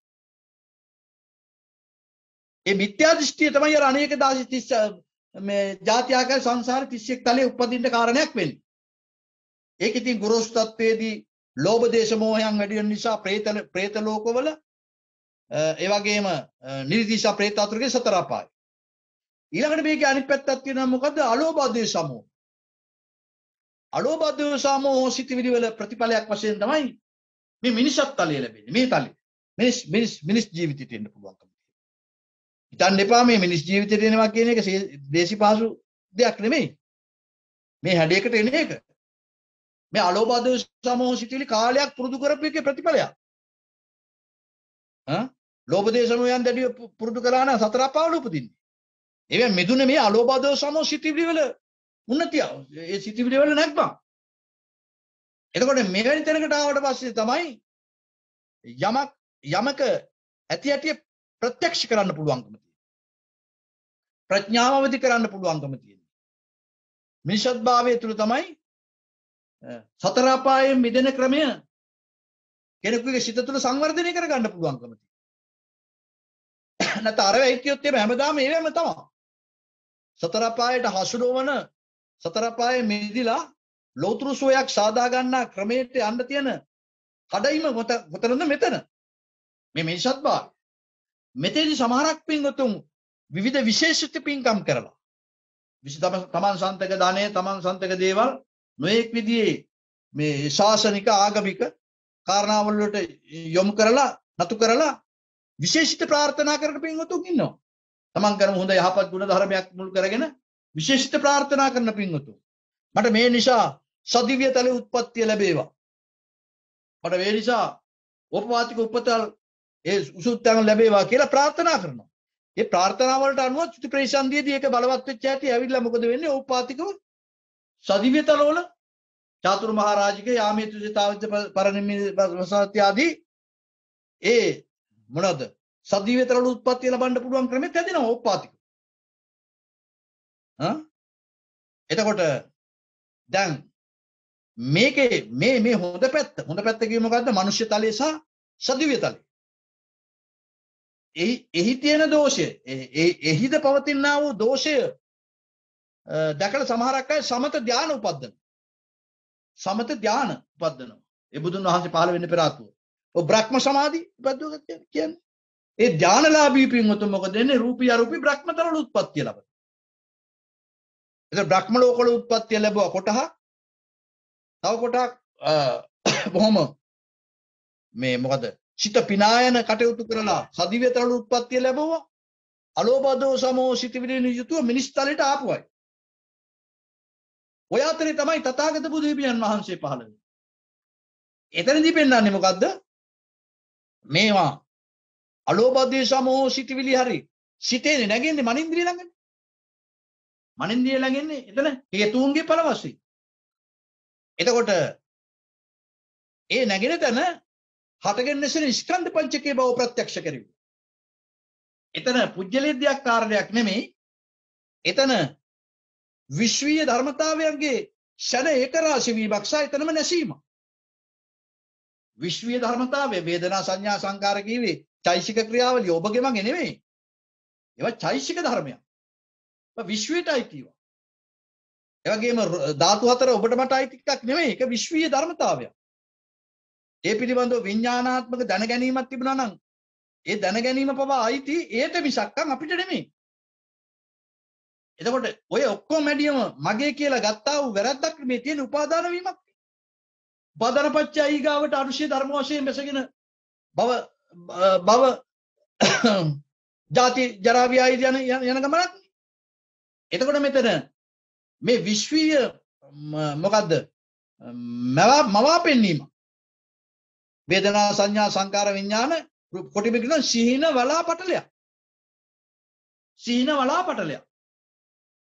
මේ සිහින වලා පටලය මේක පටලයක් නේ. පටලයක් කියන එකේ තේරුම යමක හයි ඇති දෙයක් නෙමෙයිනේ. ඒකට සුළු හෝ ඩැමේජ් වෙච්ච ගමන් පටලේ කැඩිලා යනවා. ඒ වගේ මේ සිහිනමේ ස්වභාවය හයි ඇති දෙයක් නෙමෙයි.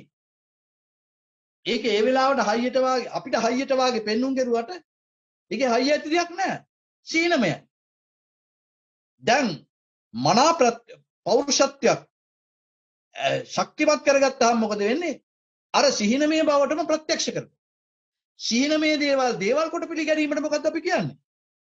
සිහිනමය ස්වභාවයන් දේවල් කොට පිළිඅරන් තමයි අපි ඔට්ටු වෙන්නේ. එයා මෙයා ඒ දේ මේ දේ ආදි වශයෙන් ඔට්ටු වෙන්නේ සිහිනමය ස්වභාවයේ දේවල් කොට අර. එතකොට දේවල් කොට පිළිගැනීම මොකද්ද? මොකක්ද ඒ ක්‍රියාවට කියන්න පුළුවන්? දේවල් කොට පිළිගන්න. ඇහැට හැපෙන එක දෙයක් කොට පිළිගන්නවා. කන නාසය දිව ශරීරය මෙන්න දෙයක් කාරණයක් කොට පිළිගන්නවා. අපි ඉන්ටතිබ කරන්නේ ඒකනේ. ඈ ඒකට ආර්ය විනයේදී ආර්ය ධර්මයේදී මොනවද ඒවා? ලාමක ක්‍රියා. ලාමක ක්‍රියා. ආර්ය විනයේදී ආර්ය ධර්මයේදී සීන සිහින සීන දේවල් කොට පිළිගැනීම ලාමක ක්‍රියාව. එතකොට ලබු අදහස් වලට තමයි මාරයත් එකතු වෙන්නේ. මාරයේ ගණදෙනුව යන්නේත් ලාමක අදහස් එක්ක. එතකොට දැන් ඒවා මාරයට කියන්නේ ලාමක ක්‍රියා ඊගාවට තව එකක් තියෙනවා මොකද්ද? අනික් අතට මොකද්ද? වීර ක්‍රියා, පෞරුෂත්වයේ නියුතු ක්‍රියා. අෂ්ටාරි පුජ්‍යල මහා සංඝරත්නය. තථාගත බුදුරජාණන් වහන්සේ ශ්‍රේෂ්ඨතම වීරයා. එවගේම ඒ උතුමන් වහන්සේලා ලෝධර මටේ කම්පා නැති වීරයෝ. එතකොට එහෙනම් මොකද්ද සිහිනමය බවම සිහි ගන්නවා ගන්නට පුළුවන් සිහි නුවණ නැගෙන එක.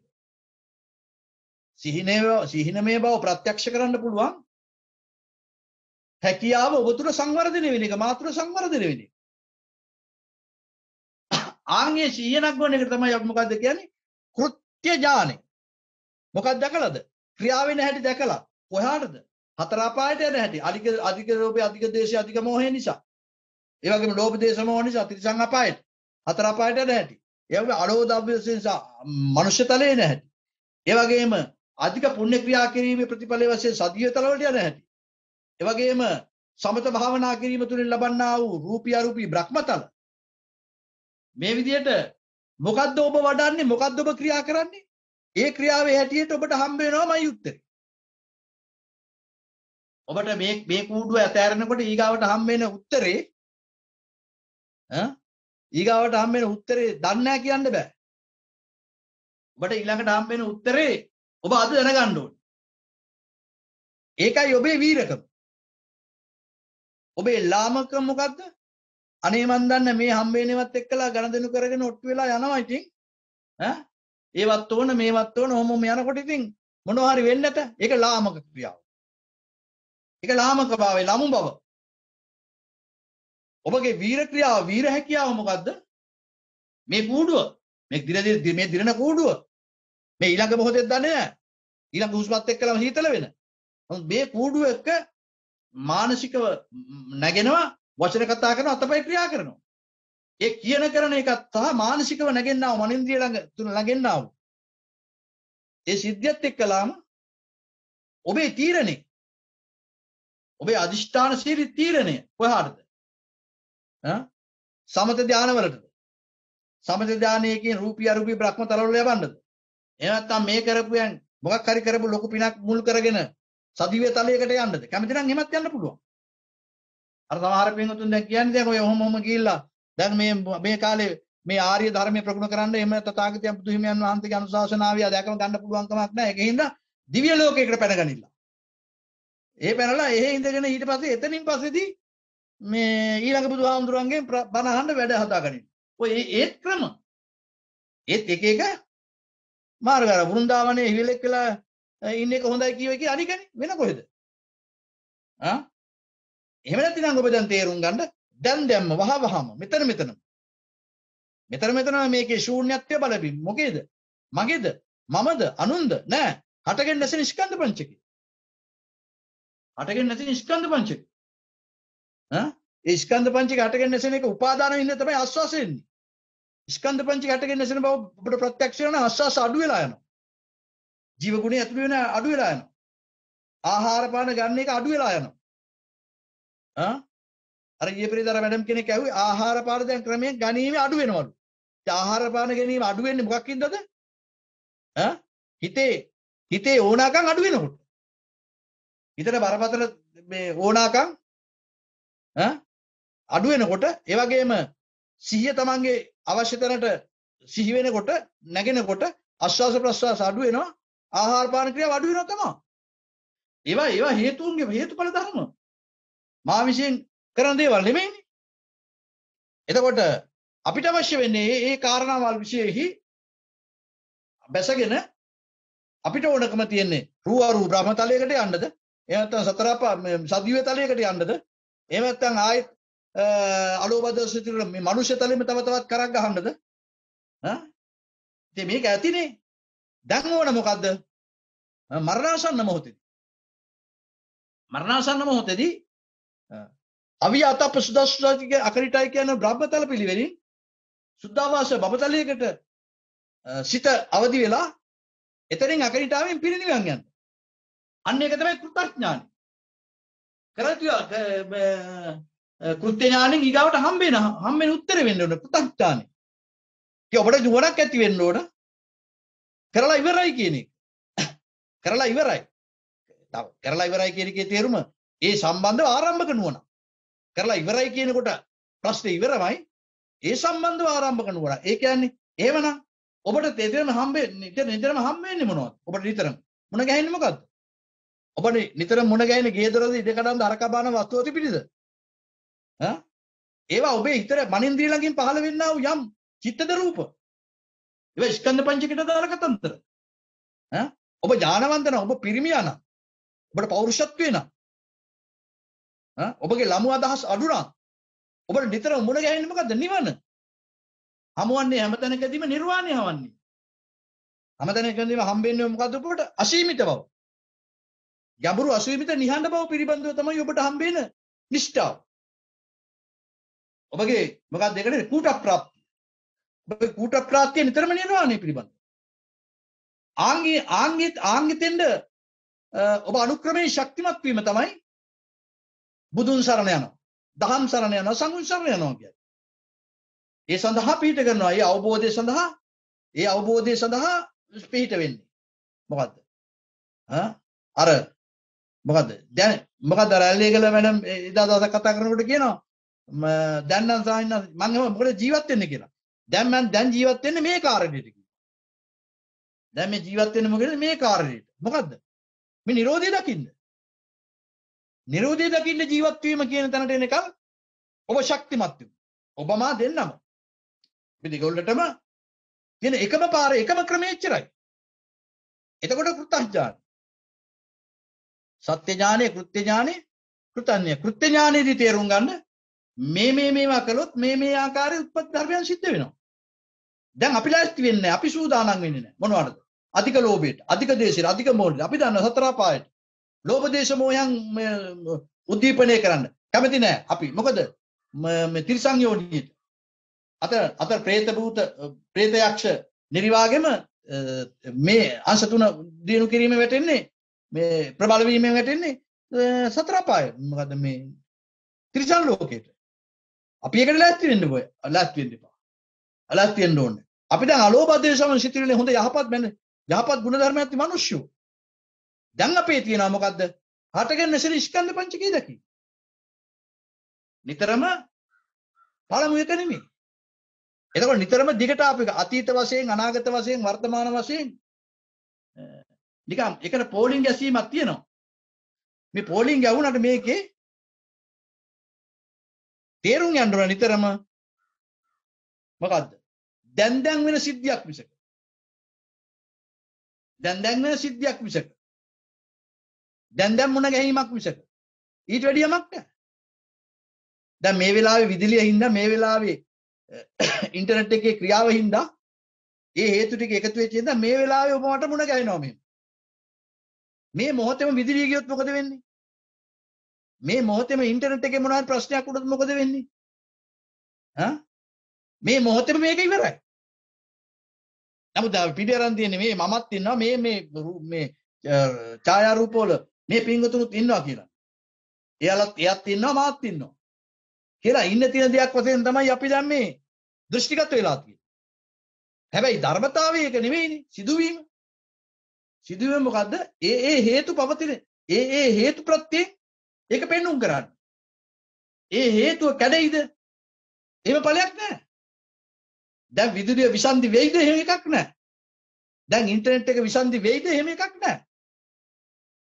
ඈ එතකොට එහෙනම් වර්තමානයේ තියෙන සක්‍රියතාවය නේද මේ පෙන්눔 කරන්නේ?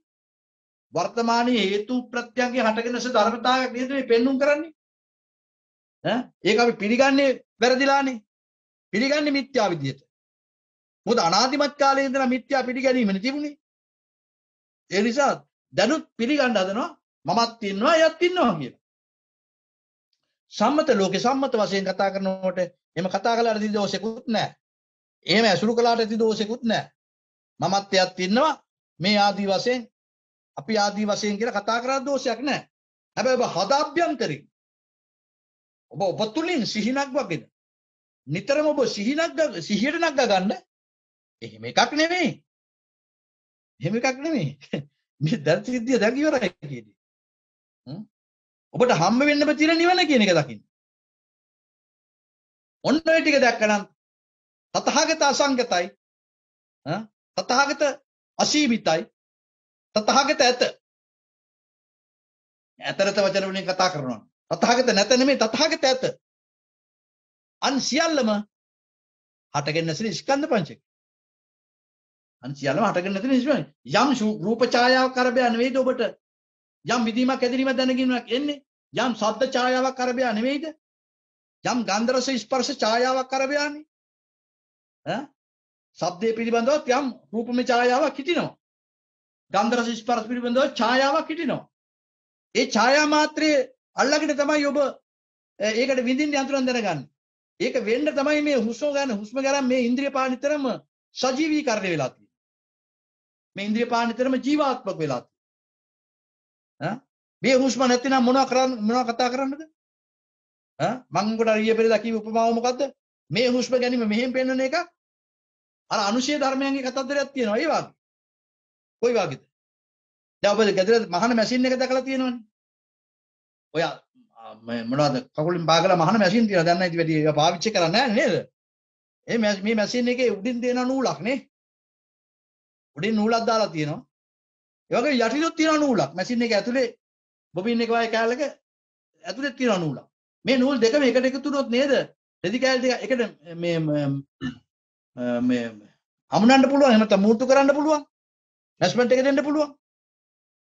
නේද? ආ. එතකොට කොහොමද මේ උඩ නූල කොහොමද මේ යටි නූල ඔබට මොකද ඒ ගැන හිතෙන්නේ?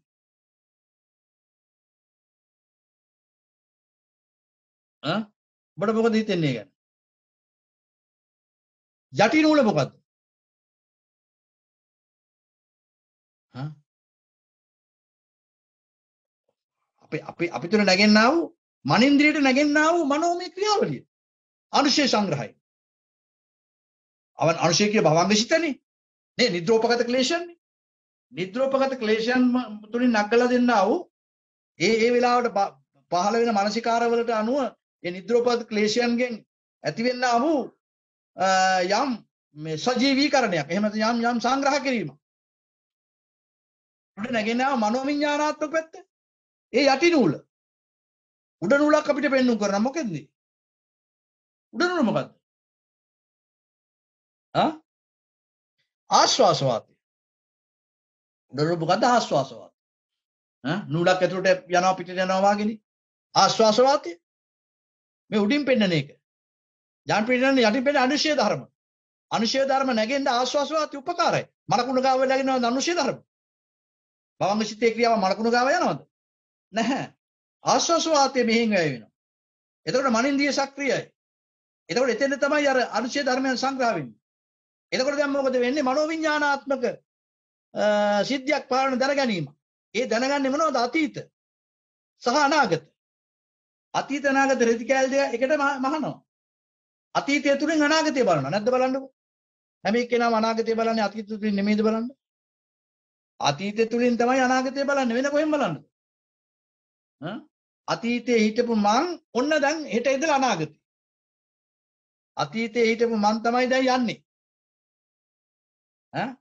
අතීතය තුලින් අනාගතය බලනවා. ඒ අර රෙදි කෑල් දෙකක් කරන මහනවා. දැන් මේක අවිද්‍යාව. අවිද්‍යාවනේ මේ මැස්ම තුල මොකද වෙන්නේ? හැමදාම. අතීත අනාගත දෙකට මැදි වෙනවා. ඈ? කොයිද? කවද්ද මැදි වෙන්නේ? මේ ශරීරය තුල වර්තමානයේ. වර්තමානයේ අනේ මෙහෙම මැදි වෙන්න එකක් නෑ. වර්තමානයේ පවතින්නේ තථාගත භාවය. මේ මේ මේක හටගෙන නැසෙනවා.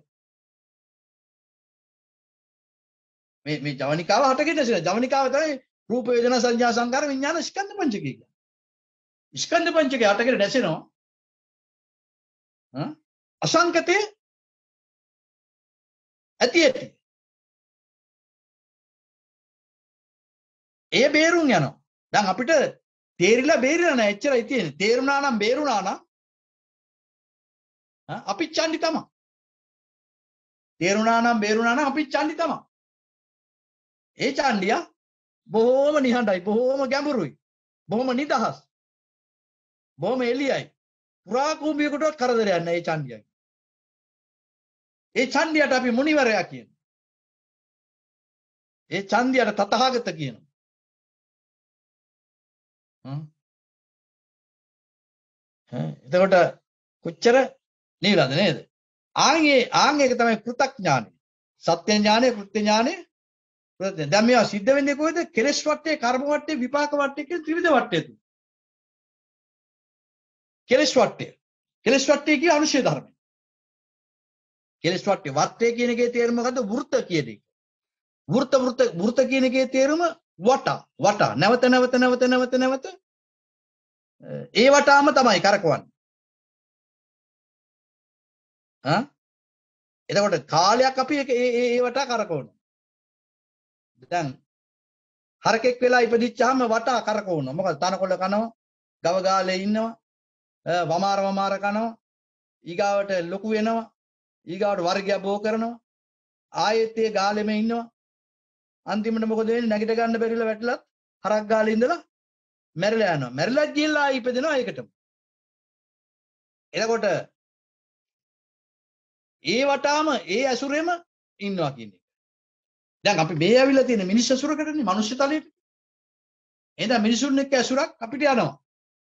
ඒ වටා. ඒ වගේ ඉතින් දැන් එක එක සත්වනිකාවල එක එක හැඩතලවල ඒ වටා කොච්චර අපි ක්‍රියා වෙලා තියෙනවා. ඒ හැම එකකම පොදු ධර්මතාවය මොකද්ද? ඒ වටා කැරකුණු. ඒ වටා ක්‍රියා වුණු හරියට අර වතුර ඇති වෙන්නා වූ දියසුලි වාගේ. දියසුලි සායන කාලයක් කැරකිලා දැසිලා යනවා. ඒ වගේ ඒ වටා වෙන්නා වූ සිදුවීම් තුල හැම එකකම පොදු ධර්මතාවය මොකද්ද? අර කියාපු අනුශය සංග්‍රහය. අනුශය ධර්ම මොනවද? රාග පටික දිට්ඨි භව රාග අවිද්‍යා මාන විචිකිච්ඡා කියන සත්වදෑරුම් වූ අනුශය ප්‍රශ්නේ නැගෙමින් නැවත නැවත නිද්‍රෝපගත වෙමින් ඒවට තමයි සිද්ධ වුනේ දෙවියෙක් වෙලා හිටියත් බ්‍රහ්මෙක් වෙලා හිටියත් හරකෙක් වඳුරෙක් වෙලා හිටියත් මිනිසෙක් වෙලා හිටියත් එතකොට ඒ විදිහට ඒ වටය ඒ කෙලෙස් වටය පිළිබඳව ගන්නකොට අනුශය ධර්ම තමයි මේ කෙලෙස් වටේ පුරාම සක්‍රීය භාවය පවත්තන. කෙලෙස් වටේ පුරාම ප්‍රමුඛයා මොකද? කෙලෙස් වටේ ක්‍රියා කරන්නේ කොහෙන්ද? අනුශය ධර්ම. ඊගොඩ කර්ම වටේ කියන තැනට එනවා. ඒ අනුශය ධර්මයන් අපේ හිතට නැගෙන්නා වූ යම් යම් මානසිකාර අඹ ගෙඩියක් කාලා තියෙනවා නම් චූටි කාලේ අඹ කාලා නැති හින්දා අඹ ගැන දන්නේ යම් කාලයකදී අඹ කාලා හිතේ භාවිතා වෙලා අතහැරිච්ච පැත්තක් තියෙනවා. දැනුත් අපිට අඹ ගෙඩියක් කන්න ඕන කියන එක එන්නේ මෙහෙන් හැපුණත් හිතෙන් තමයි එන්නේ. මෙහෙන් අඹ ගෙඩියක් හැපුණත් ඇහැට ඈ මෙර කල්පනාවක් හිටියොත් එහෙම එන්නේ නැහැ අඹ ගෙඩිය ගන්න. එහෙනම් අතනින් හිතෙන් නැగిලා එන්න ඕන. හිතේ ඒක කර්ම වටේ හැදෙන්න ඕන. මනින්ද්‍රිය ළඟ ඊට අදාළ මානසිකාරයෙන් නැගෙනකොට අනුශේෂ සංග්‍රහයෙන් එතන වේදනා සංඥා සංඛාර කියන ධර්මතාවය සිද්ධ වෙන්න ඕන. එතකොට මොකද වෙන්නේ? ඒ සකස් වීම මනින්ද්‍රිය ළඟ. කර්ම වට්ටය සකස් වීම.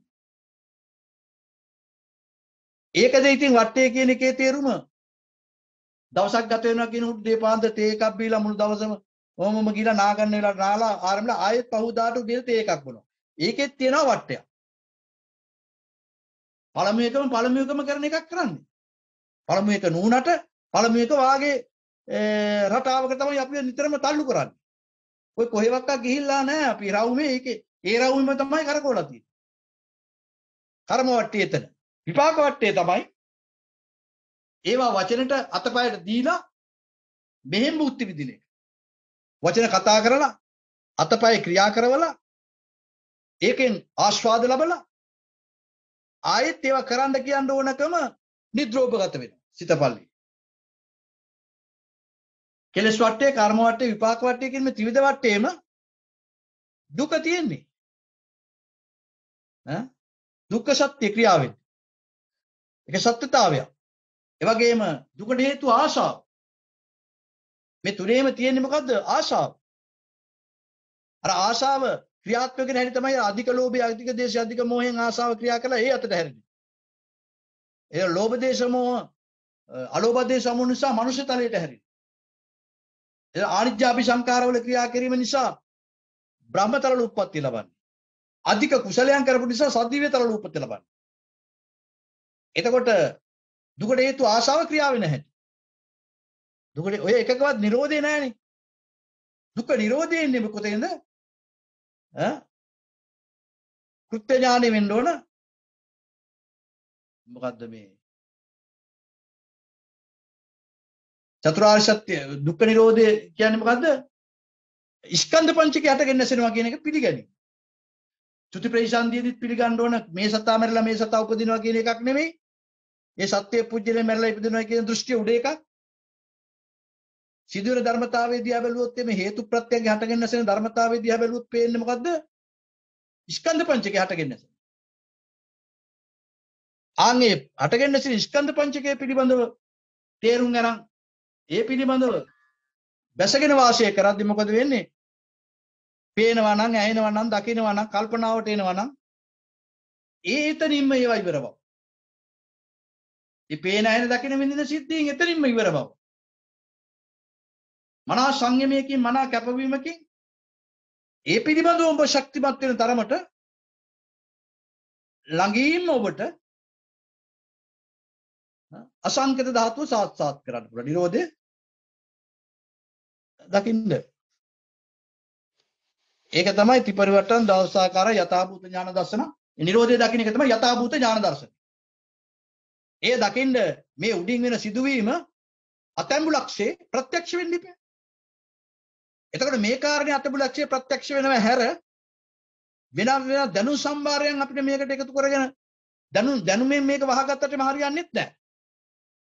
ඕනනම් මේ ගැන දැනුම දැනුමෙන් ප්‍රකාශිත දේවල් කරන්න පුළුවන්. නමුත් අපිට අවශ්‍ය දැනුම පස්සෙක තබලා මේ දැක්ම දැක්ම අපේ ප්‍රායෝගික ජීවිතයට ප්‍රායෝගික කරගෙන ළඟ ළඟ ළඟ ළඟ ළඟ හැසිරීම. තත්ත තත්ත විජානත. එතන එතන එතන විචාරණය කරලා වැඩිම. තුලින් තථාගත බුදුහාමුදුරුවෝ දකින්නේ.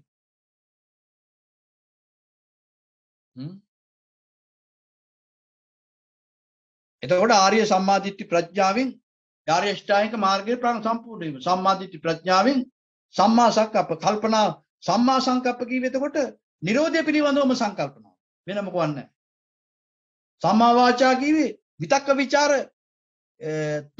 විතක්ක ਵਿਚාර කරලා එතනම ආර්ය තූෂ්ණීම් භාවය දකි.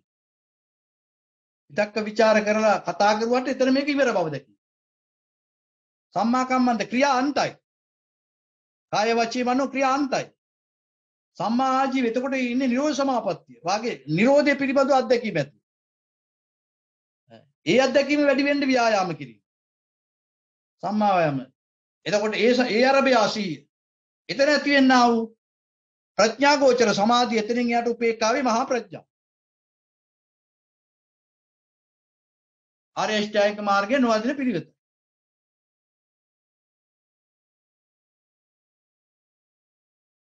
ඔව් දැන් ඒ ටික තේරුණානේ මං හිතන්නේ. එහෙමයි ස්වාමීනි.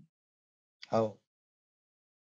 ඒ කතා කරපු හරියෙන් තව ඔබතුමාලට ඔබතුමීලාට අහන්න ප්‍රශ්න තියෙනවා නම් අහන්න. සාකච්ඡාවට අවස්ථාව. පැයක් විතර මම කතා කරන්නේ. පියරත් මහත්තයා එහෙමයි ස්වාමීන් වහන්සේ. මොකද දැන් ඔය ගැන කියන්නේ? මට කාරණා කීපයක් වහන්සේට අදහස් ආවා අද දේශනාව කරන කාරණා කීපයක් පිළිබඳව අදහස් කීපයක් ආවා. නමුත් මම එකක් දැන් පැහැදිලි කරන්න ඔබ වහන්සේ මේ උදාහරණයක් දුන්නා මේ අර මැෂින් එකේ උඩ නූලයි යටි නූලයි සම්බන්ධ වෙලා සිද්ධ වෙන සිද්ධිය. දැන් ඇත්තටම අපිට මේ සිද්ධියමනේ අපි හොඳට සියුම්ම කල්පනා කළොත් අපිට ඒ ටිකම තමයි වෙන්නේ. මනසට දාලා බැලුවොත් අපේ පැත්තට දාලා බැලුවොත්. මොකද දැන් අපි උදාහරණයක් පස්සේ ඉන්දියන් පහෙන් ඒ කියන්නේ අපි ඇත්ත ගමු ඇසෙම් යම් රූපයක් දැක්කහම අපේ ඇතුළට දැන් මේක ඇතුලේ මනෝභාවයට සම්බන්ධ වෙන්න ඕනනේ. ඒක තමයි ඇතුලේ නූල. දැන් ඔන්න ඕක හරියටම ඔතන තේරුම් ගත්ත ස්වාමීන් වහන්සේ මට හිතෙනවා මේ හිතනවා නෙමෙයි ඒක තමයි ඇත්ත. ආයින්ගේ එළියෙන් දැක්ක නූලත් එක්ක ඇතුලේ නූල සම්බන්ධ නූනොත් අපි එතන විසිතුරු මල් රටා හරිගස්සන්නේ නැහැ නේද ස්වාමීන් වහන්සේ? හ්ම්.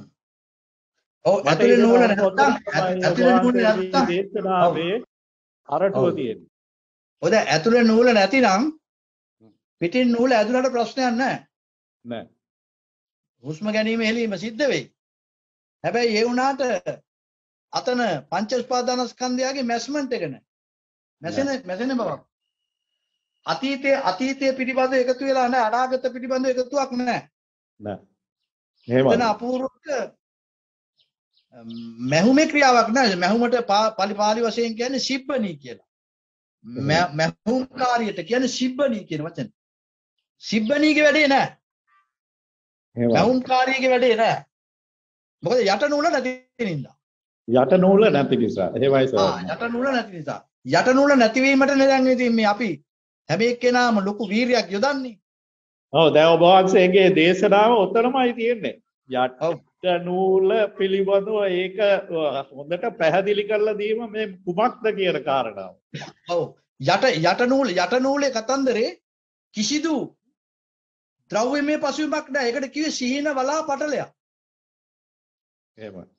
ආ අර අර හැබැයි ඒ යට නූලක් සංවර්ධනය වෙන්න එකක් අතීත හේතු බලපානවා කියන්නේ ප්‍ර- ප්‍රතිසන්දි දෙනකොට අවිද්‍යා හේතු බලපානවා දැන් මෙහෙදී මේවා මෙහෙම හැප්පෙනකොට එතන එකතු වීමක් වෙනවනේ එතන එකතු වීමක් වෙනවා නොදන්නකමට අපිට දන්නවා නම් දන්නවා නම් මොකද වෙන්නේ මෙහෙන් මේවා හැප්පෙනකොට ඒකට අ, ඒක ඇසුරු කරලා එතනින්ම ඒක ඉවර කරනවා. එතනින්ම ඉවර වෙන්නේ නැති හින්දා තමයි යතුලි අර විදිහේ මේ රඳාපව දැන් සාමාන්‍යයෙන් අපි මේ සාමාන්‍ය වචනේ මෙහෙම ගන්නකො. දැන් යමෙක් මොනවා හරි දෙයක් පිළිබඳව මේ ඉල්ලනවා කියන එකේ තොරතෝංචියක් නැතුව ඉල්ලනවා. අනේ මේ මේ මල් ගහ මට දෙන්නකෝ. දැන් උන්න මල් ගහක් දැකලා කියන මොකක් කියලාද? මේ මල් නම් හරි ලස්සනයි. මේ මල් ගහ මට දෙන්නකෝ. මේක මේ කීයක් වටිනවද? මට මේක දෙන්නකෝ. මේකෙන් පැලයක් දෙන්නකෝ. අරම මේ කිය කියා. මෙයා මොකද කරන්නේ? අර මල් ගහ ළඟ දැවටෙනවා. එතකොට දැන් අනික් එක්කෙනාට මොකද හිතෙන්නේ? මල් ගහ අයිතිකාරයෙක් කෙනාට මොකද හිතෙන්නේ? අපෝ මේක හරි වදයක් නේ. හරි ඇණයක් නේ. ඈ මෙයා මේ ඉල්ලනවනේ. ඉවරයක් නැතුව ඉල්ලනවනේ. කියලා අනික් එක්කෙනාට ඇති වෙන නොසතුටක් නේද?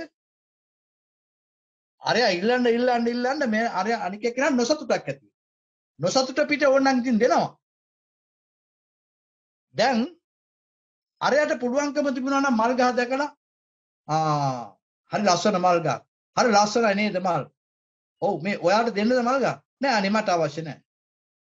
ඊගේ ලස්සන බලපුවම ඇති. අර මල් ගහ දැක්කනේ. ඊට පස්සේ හරි ලස්සනයි මේ මල් දහ කහ පාට දම් පාට බලන්නකො මේ ස්වභාව ධර්මයේ මල් පෙත්තර දීලා තියෙන ස්වභාවය. ඒතර අනික් එක්කෙනාට හිතෙනවා මෙයා මේ යටි හිතින් සමහර ලාවට මේ මල් පැලේ ඉල්ලනවා වෙන්න ඇති කියලා. මේ ඕක අවශ්‍ය නම් ඔයා ගන්න. නෑ නෑ මට අවශ්‍ය නෑ. මල් පැල ගෙනියන්න අවශ්‍ය නෑ. මම ඒක ආස්වාද කෙරුවා එච්චරයි. මල් පැල. ගෙනියන්න ඉල්ලුවේ නෑ. දැන් අපේ වෙලා තියෙන වැඩේ මොකද්ද? දකින දකින එක ගෙනියන්න හදමු. දකින අහන බලන විඳින හැම එකක්ම අහලා දැකලා බදලා එතනින්ම හරි ලස්සනයි බොහොම හොඳයි කින්ද මන්ද කියලා අතෑරලා දාන්න හදන්නේ. ඒක මොකද කරන්නේ? ගෙනිය අර ගෙනියන්නේ අහන් අතරනේ. එහෙමයි. ගෙනියන්නේ කොයිද? යටින උලේ අතන අනුශය ධර්ම. එහෙමයි සයන්න. එහෙමයි. බොහොම. පැහැදිලි. බොහොම පැහැදිලි. ඔව්. ඒ හින්දා මල් පැලේ බුද්ධි විඳමු. මල් පැලේ දැකලා මල් දැකලා සතුටු වෙලා ඒ සුන්දරත්වය විඳිමු. කනට ඇහෙන ශබ්දයක ඒ සුන්දරත්වය විඳිමු. ගෙලියන්නේ නැතුව ඉමු. අන්නේ තෙන්න අපිට සිහිය තියනවා නම් ඒකට කියන්නේ පිරිමිකම. අරක ගෙනියන්න ඉල්ලනවා නම් ලාමකකම. අර ලාමකයි කිව්වේ අරක ගෙනියන්න ඉල්ලනවා. ඉවරයක් නැතුව ඒක ඉල්ලනවා ගෙනියන්න. ඉතින් මනසේ ඒක ඒක ඒක අතර දුන්නේ නැතත් අරන් යනවා මානසිකව. ඇතුලේ. ඒදී අපි කපාගෙන එතන. තමයි යට යට යට නූල සම්බන්ධ කරගත්තා. දැන් මැස්ම යනවා. ඔව්. අර යනවා. ලැහැත්ති වුණා. ඔව්. ගෙනියන්න ඇත්තට මැස්ම. යනවනේ. අරක පරිහරණය කරමු ඒ හරියෙන් ඇති. ස්වාමීන් වහන්සේ. අන්න ඒක තමයි දැන් අපිට මේ හදාගත යුතු පෞරුෂත්වය. වෙන මොකවත් නැහැ හදන්න. වෙන. මොකවත් නැහැ. මොකද ද්‍රව්‍ය නෙමෙයි නිසා. ඇහි සැන ඇහැ සැනයයි වර්ණ සටහන සැනයයි කන සැනයයි ශබ්ද සටහන සැනයයි. දිව ශරීර නාසය සැනයයි අරවා සැනයයි. ඉතින් ඒ ඉන්න ඒවා එතනින් ඉවරයි. දැන් මේක අල්ලගෙන ගෙනියන්න ඕනේ නැහැ. ඉතින්ද අපි සීග සිහි නගා ගමු. අරගෙන ස්වාමීන් භෞතික වස්තු පරිහරණය කරමු. ඒක අල්ලගෙන ගෙනියන එක නවත්තමු. හොඳයි. ගෙනියන්න ගෙනියන්න ගෙන අනික අනික දිහා බලන්නෙත් අපහාසෙන්නේ. උපහාසෙන්නේ. ආපෝ මූණම් මහ නිකන් මේ මේ මේ පෙරේතෙක් කියලා. එහෙම බලනවනේ. ඈ. මේ එල්ලීගෙන ඉන්න හැටි පෙරේතකමට ඈ මෙවුන් අපායෙන් මෙහා නතර වෙනවද කියලා අපිට හිතෙනවා. ඈ නෑ නෑ නෑ ඒක ඒක බැලුවා දැක්ක හරි හරි බොහොම සතුටුයි. එච්චරයි. එහෙමයි. එතනින් එයාගේ එයාගේ හදවතත් බොහොම එළියයි. ප්‍රබස්සරයි. නිහඬයි. පැහැදිලි. ඇතුලේ තියෙන නූල නැහැ. එහෙම නෙමෙයි. අරහන්ත වෙච්ච උත්තමයන්ගේ පැවැත්ම තිබුණේ. එහෙම තමයි මේක හදන්න ඕන. නිතරම නිතරම Taman ළඟ පෞරුෂත්වය තියාගන්න ඕන. පිරිමිකම. පෞරුෂත්වය. පිරිමිකම කියන්නේ කඳේ බඩේ හැඩයට නෙවෙයි. හිතේ තියෙනා වූ ඍජුභාවය. පෞරුෂත්වය. ඒක රැක ගන්න ඕන. ඒක රැකෙන්නේ නැතුව මොනවා ලැබුණා ඇති වැඩේ මොකද්ද? ඈ ගිය ගිය තැන දකින්නේ මල පෙරේතෙක් කියලා. ඒ ඒ ඒ විදිහට න- කටින් නොකීවට පේන්නේ එහෙමනේ. එහෙම වැඩක් නැහැ. ස්වාමීන් වහන්සේ තව ඔබ වහන්සේගේ දේශනාවක පැහැදිලි කරපු තැනක් තමයි මේ මේ සත්වයාද එහෙම නැත්නම් මිනිස්යාද කියලා අපි මේ උඩින් එහෙම නැත්නම් මේ එළියෙන් දකින්නවට වඩා මේක ඇතුල් පැත්තෙන් දකින්න අන්න එතකොට මේක බෙදන්න දෙයක් නැහැ වෙන් කරලා දකින්න දෙයක් නැහැ කියන. අ, මොකද පැත්තෙන් බලන වෙන් කළ දෙයක් දකින්න නැති වෙන් කළ දෙයක් දකින්න නැත්තේ ඇයි? එහෙමයි. අනිත් පැත්තෙන් බලනකොට මේ වහන්සේ ඔබ වහන්සේ මම ඒක තව චුට්ටක් කතා කරන්නද ඔබ වහන්සේ පිළිතුරු දෙනවද කියන්න කියන්න. හරි හරි කියන්න. එතකොට ස්වාමීන් වහන්සේ දැන් ඇත්තටම මේ දැන් අපි ගත්තොත් එහෙම දැන් අපි කියමුකෝ තිරිසන් සතෙක් කියලා දැන් අපිට. තිරිසන් සතෙක් වශයෙන් දකින්න පුළුවන්කම වෙන්නේ මෙහි උඩින් බලනවා නම් විතරයි ස්වාමීන්. අපිට ඇතුල් පැත්තෙන් බලනවා නම් මේ ගතියට අනුව සකස් වෙච්ච එක තමයි මේ එළිය. හැදෙන්නේ මේ මේ- කියන්නේ ධාතු හතරෙන් හැදෙන්නේ.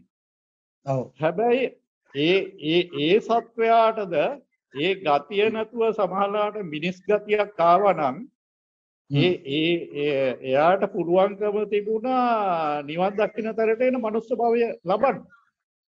එතකොට බුදුරජාණන් වහන්සේ සමහර බුදුරජාණන් වහන්සේ නෙමෙයි බෝධිසත්වයෝ සමහර කාලවලදී ඔය සුනක ඔයගේ දිවිසත්යන් වල ඉඳලා තියෙනවා.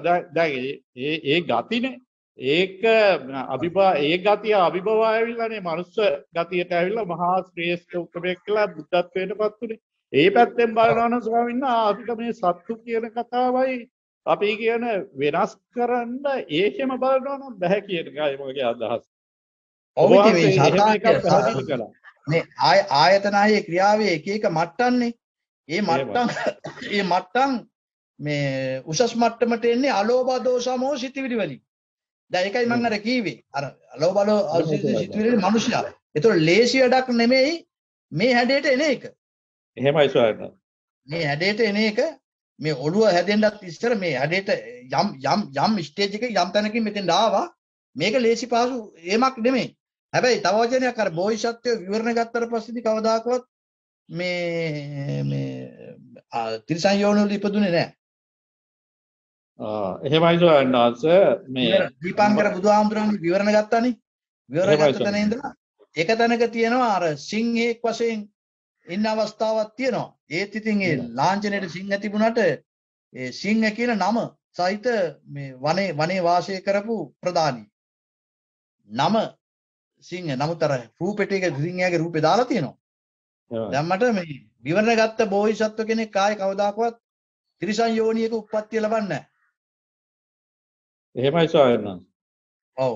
විවරණ ගත්තා වහන්සේ මේක මේක මෙන්න මේ ගති නිසාම තමයි මේ මේ මේ විපර්යාස දිගටම දිගටම සිද්ධ වෙන්නේ කියන එක නේද ඔබ වහන්සේ පැහැදිලි කළේ? මේ ගති ගතිය දවසක් දෙකක් තුනක් නෙමෙයිනේ. මාසයක් මාසයක් අවුරුද්දක් විතර එයා හුරු පුරුදු වෙන ගතිය ඒක. දැන් උදාහරණයක්. වශයෙන් මෙහෙම ගන්නකො. හැඩේ මිනිසයා මේ මිනිසයාගේ ගතිය මොකද්ද? මේ බිරි කොක්කක් කරන් දවසේ උදේ නැගිටපු වෙලාව ඉඳලා තේ ටිකක් බීලා විටක් කාලා දැන් ඊගාවට මිනිහාට මතක් වෙන්නේ මොකද්ද බිරි කොක්කක් තරම් වැවට යන්න එහෙමයි. ඉතින් වැව ගාව ගිහිලා ඉඳගෙන ඉඳලා අර බිලි කොක්කෙන් මාළුවෙක් දෙන්නෙක් අල්ලගෙන ගෙදර එන්නේ. ඕක තමයි මිනිහාට තියෙන සතුට. මිනිහා කැමැතිම කරන ටික. ඉතින් ඔය ගතිය එන්න එන්න එන්න එන්න තීව්‍ර වෙනකොට එයාගේ මිනිස්කම නැමැති වැට කැඩිලා අර සත්වරිකායකට වැටෙනවනේ. මරණාසන්න. මොහොතට ආපු ගමන් ඉතින් ඒ හැරිලා යනවා. එතර මිනිහා මිනිහා මිනිහා මැරිලා මිනි පිළිහිඩුවක් වුණා නෙමෙයි. ඈ? එතකොට පිළිහිඩුව මිනිහා වුණා වුණා උනත් නෙමෙයි. හැබැයි උතන තිබුණා මොකද්ද? ගතියට අනුව ස්කන්ධ පංචකය හටගෙන නැසෙන ධර්මතාවය. එහෙමයි වහන්සේ. ස්කන්ධ පංචකය හටගෙන නැසෙද්දී ඒකේ තිබුණා ගති. ඒ හින්දානේ ඒකට පංච උපාදාන කියන වචනේ කිව්වේ හටගෙන නැසෙන ස්කන්ධ පංචකයාගේ ගතිය නැතිනම් උත්පත්ති ධර්මයක් නැහනේ එහෙමයි. රාතන් වහන්සේ එහෙම තමයි චිත්ත ක්‍රියා වායෝ ධර්මතාවයක හැසිරුනේ. එතකොට අර අපිට පංචස්කන්ධය නෙමෙයි අපිට තියෙන උපාදානස්කන්ධය. පංච උපාදානස්කන්ධය. උපාදාන. පංචස්කන්ධය උපාදාන වෙනවා. උපාදාන වෙන්නේ ගතියට. එහෙමයි වහන්සේ. අර මිනිහා කියලා නමින් මෙහි පැත්තේ වාසය කරපු ඒ පංච උපාදානස්කන්ධය බිලි කොක්කක් එක්ක කරපු ගණදෙනුව තමයි අර ඒ පංච උපාදානස්කන්ධයට අදාළව අර වෙනත් වෙනත් හැඩතලයකට හැදුනේ. එහෙමයි. ඔව් අහන්න. ලංකා නෝනා ඔබතුමිය මොකක් හරි ප්‍රශ්නයක් අහන්න උන් කාලේ කතා කරුවේ නෑ. නැද්ද? ආ? හරි කවුරු හරි කමන්නේ අහන්න. ස්වාමීන් වහන්සේ ඔව්. අර චත්‍රාර්ය සත්‍ය දකින්න අපිට අපි තුල ඇති කරගන්න ඕන සත්‍ය ඥානය ඥානය කෘත ඥානය කියලානේ ඔබ වහන්සේ. එතන සත්‍ය ඥානය කියන එක චුට්ටක් පැහැදිලි කරගන්න. ආ. සත්‍ය ඥානයි කිව්වේ මේක සත්‍යතාවයක්. මොකද්ද? මේක දෙවියන් වහන්සේ විසින් ලෝකයාම ඇව්වා නෙමෙයි. දැන් සාමාන්‍යයෙන් උගාදුරට තථාගත දර්ශනයෙන් පිටස්තරව බ්‍රහ්මයා ලෝකෙම ඇව්වා කියලා කතා කරනවානේ. අතීතේ ඈ ඊළඟට වර්තමාන කාලෙදී බොහෝ පින්වතුන්ලා කතා කරනවා මේ මනුෂ්‍ය තලයේ ඉන්න හැඩේ ඉන්න මිනිස්සු දෙවියන් වහන්සේ තමයි මේක මැව්වේ කියලා. කවුද? මේ වර්ගයා. මිනිස් වර්ගයා සහ සත්ත්ව වර්ගයා. එක එක කොටස් වල. අන්නේ දෘෂ්ටිය තමයි දැන් මේකේ කැඩෙන්නේ සත්‍යතාවය ඒක ඒක සත්‍යතාවයද? මං අහන්නේ. ඔව් එහෙම ඒ- ඒ- ඒක ඒක ගවේෂණය නොකරන තාක්කල් සත්‍යතාවය කියලා හිතෙන්න පුළුවන්. සත්‍යතාවය නෙමෙයි. සත්‍යතාවය මොකද්ද? ඈ? ජාතියක් වශයෙන් හට ගැනීමේ ජ- ජරාපි ව්‍යාධිපි මරණම්පි අප්පියේ සම්පයෝග පිය විපි යම් පිච්ඡන්න ලබති තම්පි දුක්ඛං සත්‍යතාවය මොකද්ද යම් මොකද්ද? යම් පිච්ඡන්න ලබති තම්පි දුක්ඛං. සංකිට්ඨේන පංච උපාදානස්කන්ධ දුක්ඛ. අන්න ඒක තමයි සත්‍යතාවය කොටිම සංස්කෘත කරලා කිව්වොත් මොකද්ද? පංච උපාදානස්කන්ධය තමයි දුක. එතකොට ලෝකේ සැපයිද දුකයිද? ඒක එන්න ඕන. ලෝකේ සැපයි සැපයිද දුකයිද? ලෝකේ දුකයි කියන එකනේ. ආ ලෝකේ දුකයි. ලෝකේ කිව්වේ එතකොට දැන් මෙතනදී මට මුළු ලෝකෙම මට මුළු වටා පිටාව ඔක්කොම අල්ලන්න පුළුවන් මේ හය පොළෙන්නේ එහෙනම් මේ හය පොළ සහිත කූඩුව ලෝකේ. මට යම් තාක් මෙහි රූප තියෙනවා නම් ඒවා බලන්න පුළුවන් මේ ඇහෙන්. යම් තාක් ගන්ධ රස ස්පර්ශ තියෙනවා නම් මේ පය මේ ටිකෙන් ලබන්න පුළුවන්. එහෙනම් ආයතන හය සහිත රූප මිතිය තමයි ලෝකේ. ඈ වෙනත් වචනකින් කියනවා නම් හටගෙන නැසෙන ස්කන්ධ පංචකය තමයි ලෝකේ. ඈ එතකොට මේ ලෝකය පංච උපාදානස්කන්ධා දුක්ඛා කියලා මිසක්ක මේ ලෝකේ සැප නැහැනේ. එතකොට දුක්ඛාර්ය සත්‍ය. සත්‍යතාවය මොකද්ද දුකයි. මොකද්ද දුක? ඊට පස්සේ දුකාන් විස්තර වෙනවා. අර විදිහට විස්තර වෙනවා ඊගාවට જાතියක් වශයෙන් හට ගැනීම දුකයි. අන්න ಜಾති වෙන හැටි පිළිබඳව තමයි අර කිව්වේ මේ යමෙක් මේ මොකද්ද ජීවත් වෙනකොට හොද අදහස් වලින් සුගති දුගති දෙකේ. සුගති සුගති ක්‍රියාවල වල යෙදෙනවා නම් ඊට අනුව ಜಾතිය සිද්ධ වෙනවා. දුගති ක්‍රියාවල වල සිද්ධ වෙනවා නම් ඊට අනුව ಜಾතිය සිද්ධ වෙනවා. එතකොට සුගති දුගති දෙක කරන්න මට කවුද අණ දුන්නේ? අම්මාද තාත්තද? දෙවියෙක්ද? නෑ. ඒගොල්ල උපදෙස් දෙයි අපිට. අම්මා තාත්තා උපදෙස් දෙයි. පුතේ මේක කරන්න එපා මේක කරන්න එපා කියලා. නමුත් කිරීමේ සම්පූර්ණ වගකීම තියෙන්නේ මටනේ. මං තමයි හොඳ දේවල් කරනවා නම් කරන්නේ. මං තමයි නරක දේවල් කරනවා නම් කරන්නේ. එතකොට මම විහිං කරපු දේවල් වල විපාක මම විඳිනවා මිසක් ඈ කාගේව අදෘශ්‍යමාන කෙනෙකුගේ විපාකයක් විඳිනවා නෙමෙයි. එතන පූර්ණ පූර්ණ අයිතිකාරය පූර්ණ වැරදිකාරය මේ මං. තමන්මයි. ඔව් අර යම රජුරු ගාවට ගියාට පස්සේදී නඩු අහන වෙලාවේදී අපායේ නඩු අහනකොට යම රජුරු ගාවට මෙහෙන් ගියාට පස්සේදී යම රජුරු අහනවා මේ මේ මේ මෙහාට ආවේ ඇයි? මේ ඇවිල්ලා තියෙන්නේ උඹ දෙවියෝ කීවටවත් අම්මා තාත්තා කීවටවත් නැගණියක් කීවටවත් තව කවුරක්වත් කීවට නෙමෙයි. උඹ විහිං කරගත්තු දේවල් හින්දාමයි උඹ මේ ඇවිල්ලා තියෙන්නේ. එහෙමනම් ඉතින් උඹ ඒක විඳපන්. අන්න එහෙමනේ. එතකොට සුගති දුගති දෙක සත්‍යතාවය. සුගති වැඩ කෙරුවොත් ඒ විදිහට දුගති වැඩ කර මේ සත්‍යතාවය කියන එකේ තේරුම ඇත්තම දේ ඕක තමයි කියන්නේ. දුක ඇත්තම දේ ඒ දුක විඳින්නට මේ ක්‍රම හැදෙන හැටි ආ- ඇත්තමයි. සුගති දුගති දෙකේ. එතකොට සුගති එකේ යනකොට අ, දුක අඩු කරගෙන යන්න දුකෙන් දුර වෙන්න ලෝකෝත්තර සුවේ සද්දා ගන්න යන තැනකල් පාරක් තියෙනවා. හැසිරෙනවා නම් කෙනෙකුට. ඈ? අර දුර්ගතියේගේ ගියොත් එහෙම සතර අපා දුක් වලම හැසිරෙන්න කර්ම ක්‍රමයක් තියෙනවා. දැන් ලෝතුරු සුවේ සාදා ගන්න යන ගමෙන්දී සැප විඳලා යනවා නෙමෙයි දුක් විඳලා තමයි යන්නේ. නමුත් ඒ දුක විඳීම දුක දුරු කිරීම සඳහා ඒ දුක විඳින්නේ දුක දුරු කිරීම සඳහා. අර දුක විඳින්නේ මොකටද? දුක වැඩි කර ගැනීම සඳහා. සතර පාය පැත්තට යන. අර අයින් ක්‍රෝධයෙන් වෛරයෙන් වෛරස් සාගත සිතිවිලි වලින් ක්‍රියා කරනකොට ඒ දුක දුක වැඩි කර ගැනීම සඳහා. ආ?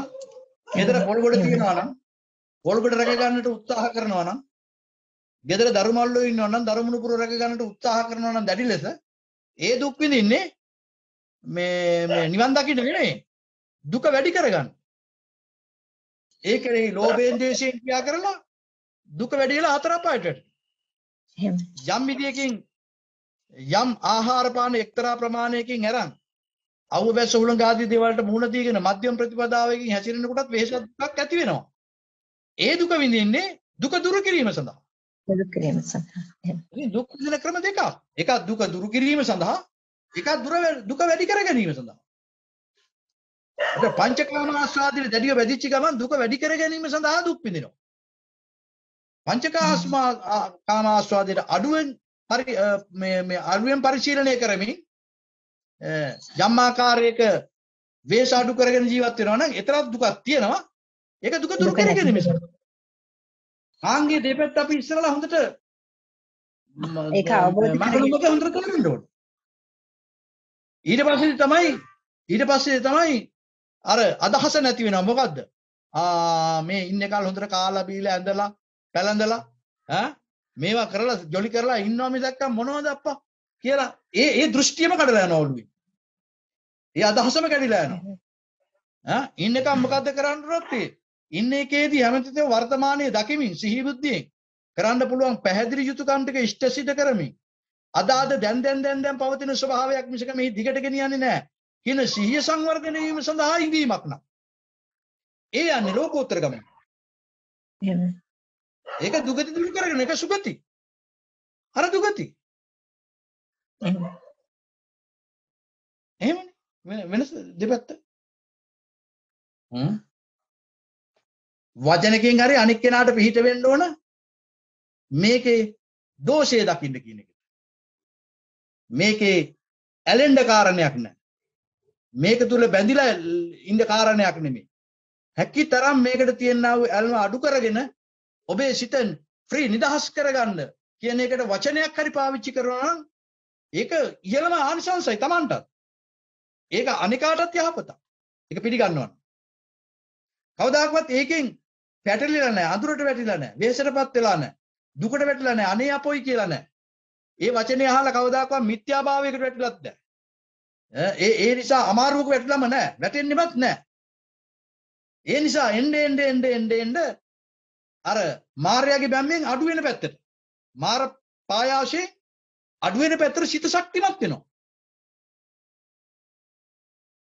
තමන්ගේ ඥාන අභිවෘද්ධිය ඇති වෙනවා. සී බුද්ධිය වර්ධ වර්ධනය වෙනවා. හ්ම්? අත්හැරීමේ ගුණය කතා කරනකොට. අත්හැරීම පිළිබඳව ඉතින් සමහර වෙලාවට සිතේ තියෙනා වූ අර නොහොබිනාකමට අත්හැරීමට කැමති නැහැ ඒක සිතේ තියෙනා වූ අර මොකද්ද අපි අපි ඒක කියන්නේ මොකද්ද මේ විලම්බිත ගතිය. අත්හැරීමට කැමැතිකම එන්න පටන් ගත්ත දා ඉඳලා තමයි වැඩේ පේන්නේ. ඒකේ තියෙන සුන්දරත්වය. හ්ම්? එතකොට න්‍යාය මොන හැඩයකින් හරි මේ කූඩුවක් නොහැදෙන්නේ. හැදෙන්නේ කූඩු දෙවර්ගයයිනේ මොකක් හරි එක්කෝ ස්ත්‍රී කූඩුව එක්ක පුරුෂ කූඩුව.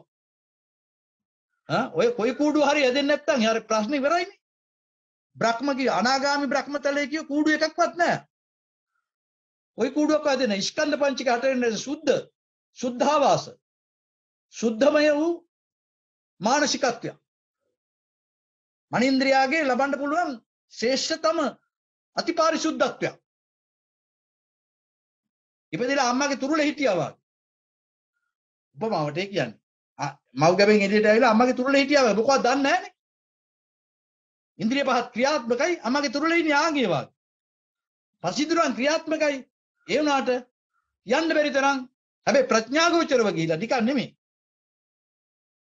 ආයි රොඩු බොඩු මෙහි ඉතුරු වෙලා නෙමෙයි. ඈ සිටිවිලි වල දෝෂේ සහ මුලින්ම දැකලා රෝතුරු සුරේ අත්දකලා ඒකනේ ගමන. ඒ සඳහා වචනයක් හරි ප්‍රකාශනයක් හරි අපිට ඇහෙනවා නම් ඒ සඳහා අපි ප්‍රායෝගිකත්වයට තල්ලු වෙනවා නම් ඒකමයි කරන්න ඕනේ කෙනෙකුට. කෙනෙකුට දෙන්න පුළුවන් ඉහළම දායාදේ ඉහළම කල්යාණ මිත්‍රකම. ඉහළම ධනය. තමයි ඒක. එතකොට ඒ සංවර්ධනය කර ගැනීම සඳහා උපරිමේ ගමනේ යනකොට පසුබිම් වල යම් යම් ක්‍රියාකාරීත්වයක් කරන්නත් සිද්ධ වෙනවා. ඊට අදාළ පසුබිම් වලදී ඒවත් සිහිනුවණින් මම්මුලාවටපත් නොවි ඈ කළ යුතු දෙයක් වශයෙන් එම කරගෙන යාම. එහෙමනේ මේ සම්බුද්ධ ශාසනයගේ චිරස්ථිතියක් චිත්තසංතාන තුලින් එළිදරවුනේ. ස්වාමීන් වහන්සේ මට පොඩි කාරණාවක් දැනගන්න පුළුවන් හාමුදුරනේ. ඔව් අහන්න. ම- ඔබ වහන්සේ කිව්වේ මනස නැනස කියලා ඔබ වහන්සේ අන්තිමට ආලෝකය කියලා පැහැදිලි කරා නේද හාමුදුරනේ? ඒක නැවත මට. පොඩ්ඩක් ඔව් ඔව්. ප්‍රශ්නේ අහුවේ කවුද? අනෝම මම ආහා. හරි.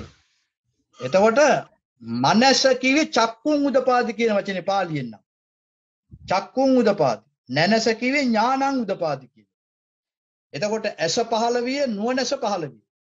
චක්කු කරණී ඥාන කරණී උපසමාය අභිඥාය සම්බෝධාය නිබ්බානාය සංවන්තති කියලා තමයි ධම්සක් ප්‍රතුන් සූත්‍රයේදී මධ්‍යම ප්‍රතිපදාවෙන් යුතුව සිද්ධ වෙන ධර්මතාවයක් කොට පෙන්වුවේ. එතකොට ඇස පහළ විය කියනකොට දහම් ඇස චක්කුම් උදපාද මේ ඇහැ නෙමෙයි මේ මෝඩ ඇස් නෙමෙයි. මේ මේ පේන්නේ අපිට මෝඩ ඇස් මේ තියෙන්නේ. ඈ මේක අවිද්‍යාව තුළ ඇතින ඇහැනේ. චක්කුම් උදපාදි මොකද්ද? හේතුන් නිසා හටගත්ත ඵලය නිරෝධයි කියන දකින්නේ. යම් හේතුන් ප්‍රත්‍යයෙන් හටගන්න ඵල නිරෝධයි කියන ඇස. ආ නිරෝධයි කියන ඇස. හේතු නිසා හටගත්තා වූ ඵලය නිරෝධයි. කියන පේන එක එතනින් ඉවරයි ඇහෙන දකින විඳින ඒවා එතනින් ඉවරයි? කියලා? එතකොට ස්කන්ධ පංචකයගේ හටගෙන නැසෙන බව. තනික තව වචනින් කියන ඒකත් ඇස. හරිනේ? ස්කන්ධ. කියන්නේ මොනවද? අර රූප ඡායා අරබය විඳිනවා හඳිනවා දැනගන්නවා කියන චෛසික ක්‍රියාවලියනේ. ඒක ඒ වෙලාවේ ඒ වෙලාවේ ඇහැ නිසා කනනාසය දිව නිසා හටගත්තා වූ පිළිබිඹුවට ඇති වුණා වූ ඒ මොහොතේ ඇති වුණා වූ වින්දනයක් ඒ මොහොතේ ඇති වුණා වූ හැඳිනීමක් ඒ මොහොතේ ලෝභ මෙවීමක් ඒ මොහොතේ දැන ගැනීමක් ඒ හේතුන්ගේ ඵලෙ උදාහරණයක් වශයෙන් ගත්තොත් අර දිය දුන්නා ඒ වෙලාවේ වැවි විද්දු ආලෝක කිරණයි නිසා හටගත්තා වූ ඵලය දිය දුන්න. ඒ හේතු නැති වෙනකොට ඒ ඵලෙ නැහැ. නේද? ඉතින් එහෙමනම් මේ විශ්වය තුල මේ අසීමිත වූ ඉදේ ඈ? ඔය ආවගිය සත්‍ය පුජ්‍යලයක් නෑ. කිසිවෙක් කිසිදා කිසිවිට කිසි තැනක තිබී නැත. කිසිවක් කිසිවා කිසිදා කිසි තැන කිසිවිට තිබී නැත. හරි කතන්දරේ. අපිට මේක ඇත ඇත තියනවා තියනවා කියලා එල්ලිලා මනසේ බරපතල ලෙස දැන් ඔට්ටු වෙනවා අපි. ඇත්ත සත්‍යතාවය මොකද්ද? කිසිවක් කිසිදා කිසි තැන කිසිවිට තිබී නැත. ඈ? මේ මොහොතේ මේ දැන් නැග්ගල එක මෙතනින් ඉවරයි. ඔච්චරමයි ධර්මතාව. අසුරු සැනක් ගහන මොහොතක විශ්වීයව මේ රූප වේදනා සංඥා සංකාර විඥාන හටගත් සැනින් නැසී ඇත. ආයෙත් හට ගැනීමක් ඇත ආයෙ නැසීමක් ඇත. හැබැයි මේක වේගය නිසා මොකද වෙන්නේ තියෙනවා ඉන්නවා කියන දෘෂ්ටිගත විවරය. මේ සවදෑරුන් දෘෂ්ටිගත වීම. එතකොට දැන් හටගෙන නැසෙන බව ප්‍රත්‍යක්ෂ වෙනවා නම් ඒකට කියනවා චක්කුම් උදපාති. එහෙමයි. ඒක තව වඩා එහාට දියුණු වෙනවා නම් ඥානං උදපාති. තවත් එහාට ඒක එළිය එළිය වැටෙනවා ප්‍රඥා උදපාති. ඒනුත් එහාට ආයේ කවදාකවත් ඒක එහෙම නෙමෙයි. ඒක එහෙමම තමයි. මේ වෙන කිසිවක් නෑ මම අර කිව්වේ ජීසගෙඩි ගත්ත කෙනෙක් ඉන්න නිවා ගන්න උත්සාහ කරනවා වගේ ඕපනයි ගුණයෙන් යුක්තයි කියලා. ඒ විදිහට මේකේ ශූන්‍යත්වය දැකීමේ තැනට ශක්තිමත් නම් විඥා උදපාති. එතනින් එහාට මොකද වෙන්නේ ජීවිතාසාවත් දුර වෙලා යනවා. ආලෝක උදපාති. හටගත් ඇසේ පරිපූර්ණත්වය. ඥාන උදපාදි ප්‍රඥා උදපාදි විද්‍යා උදපාදි ආලෝක උදපාදි. එහෙමයි. පැහැදිලි ආතුනේ. එහෙම තමයි. මෙහි කොයිවක්වත් මේ අත දික් කරලා අඬලා අත ගාලා අත ගාලා බලලා එහෙම මේ මේ මේ මේ මොනවද දකින්න අහන්න කියන කාරණා මොකවත් නැහැ. ඇයි නැත්තේ හැමදෙර මේ බලන්නකො ඇල්ලුවොත් පේනවනේ පුටුවක් ඇල්ලුවොත් තවද ඇල්ලුවොත් මේ ආයේ දැයින්නේ නැද්ද? ඔව් ඒක තමා. ඒක තමා තියෙන ප්‍රශ්නේ. අර අර හොරමනු කවුද මේ අර මොකද්ද මේ මේ මේ හොරෙක් මොකද කරන්නේ පාන්දර ගිහිල්ලා ආ කාගේද එලු එලු එලු කොටුවකින් එළුවෙක් කරන් යනවා. හොරකම් කරගෙන. ආන්දර යන්නේ මේ කාටවත් අහු නොවෙන්න. ඒ වුණාට කරුමෙට ඉස්සරහට අර පැත්තට මිනිහෙක් එනවා. දැන් මේ හොරා මොකද කරන්නේ? තමන්ගේ අර ස- සලුවක් තිබුණා ඔකෙන් හොදට අර උතා ගත්තා. කවුද? එළුවව. උතාගෙන දැන් හරියට මෙහෙම ඔඩොක් මෙහෙම කරපුල් නගෙන යට අරමණිය ඇහුවා ඒ මේ කොහෙද කොහෙද යන්නේ කිව්වා. මේ ළමයාට අසනීපයි බේත් ටිකක් ගේන්න යනවා. හොරා කියන්නේ ඊට පස්සේ අර අර මනුස්සය අහනවා ඉතින් ඔය මේ වලිගයක් තියන්නේ ඇයි කියලා. අර වලිග වහගන්න බෑනේ වලිගයක් තියන්නේ ඇයි කියලා. ඒක තමයි අසනීපෙකි. හා? ඒක තමයි මේ තියෙන අසනීප මේ හදිසි කියලා වලිගයක් ඇවිල්ලා ළමයාට ඒකයි මේ බේත් කියන්න යන්නේ. ආන් ඒ වගේ දැන් මේ මොකද මම දැන් කියන්නේ හදුවේ මොකද්ද මට නැහැ. දැන් ඉස්සලා කියන්න හදුවේ මොකද්ද මම? ඒ කියන්නේ මේවා තියෙන බවට. අපි ආ. පිළිගන්න එක වැඩේ කියන්නේ ඔව් ඔව් ඒක තමයි අසනීපي අපිට තියෙන කොටිම කියනවනේ මේ මේ පුටුවක් අතක් මේ මේ ගේ දොර හරක බාන්න මේ අහු වෙනවනේ අතට අරවමයෝ අත තියෙනවා මේවද? මේක තමයි අසනීපි. වලිගයවිල්ල අපිට තියෙන්නේ. අසනීපි මේක තමයි.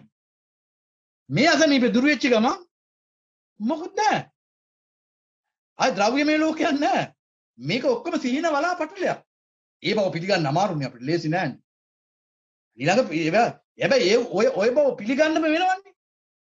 කොයි කොතනකද හරි විද්‍යා උදපාදි ආලෝක උදපාදි කියනකොට ඔය දේ තමයි පිළිගන්න වෙන්නේ.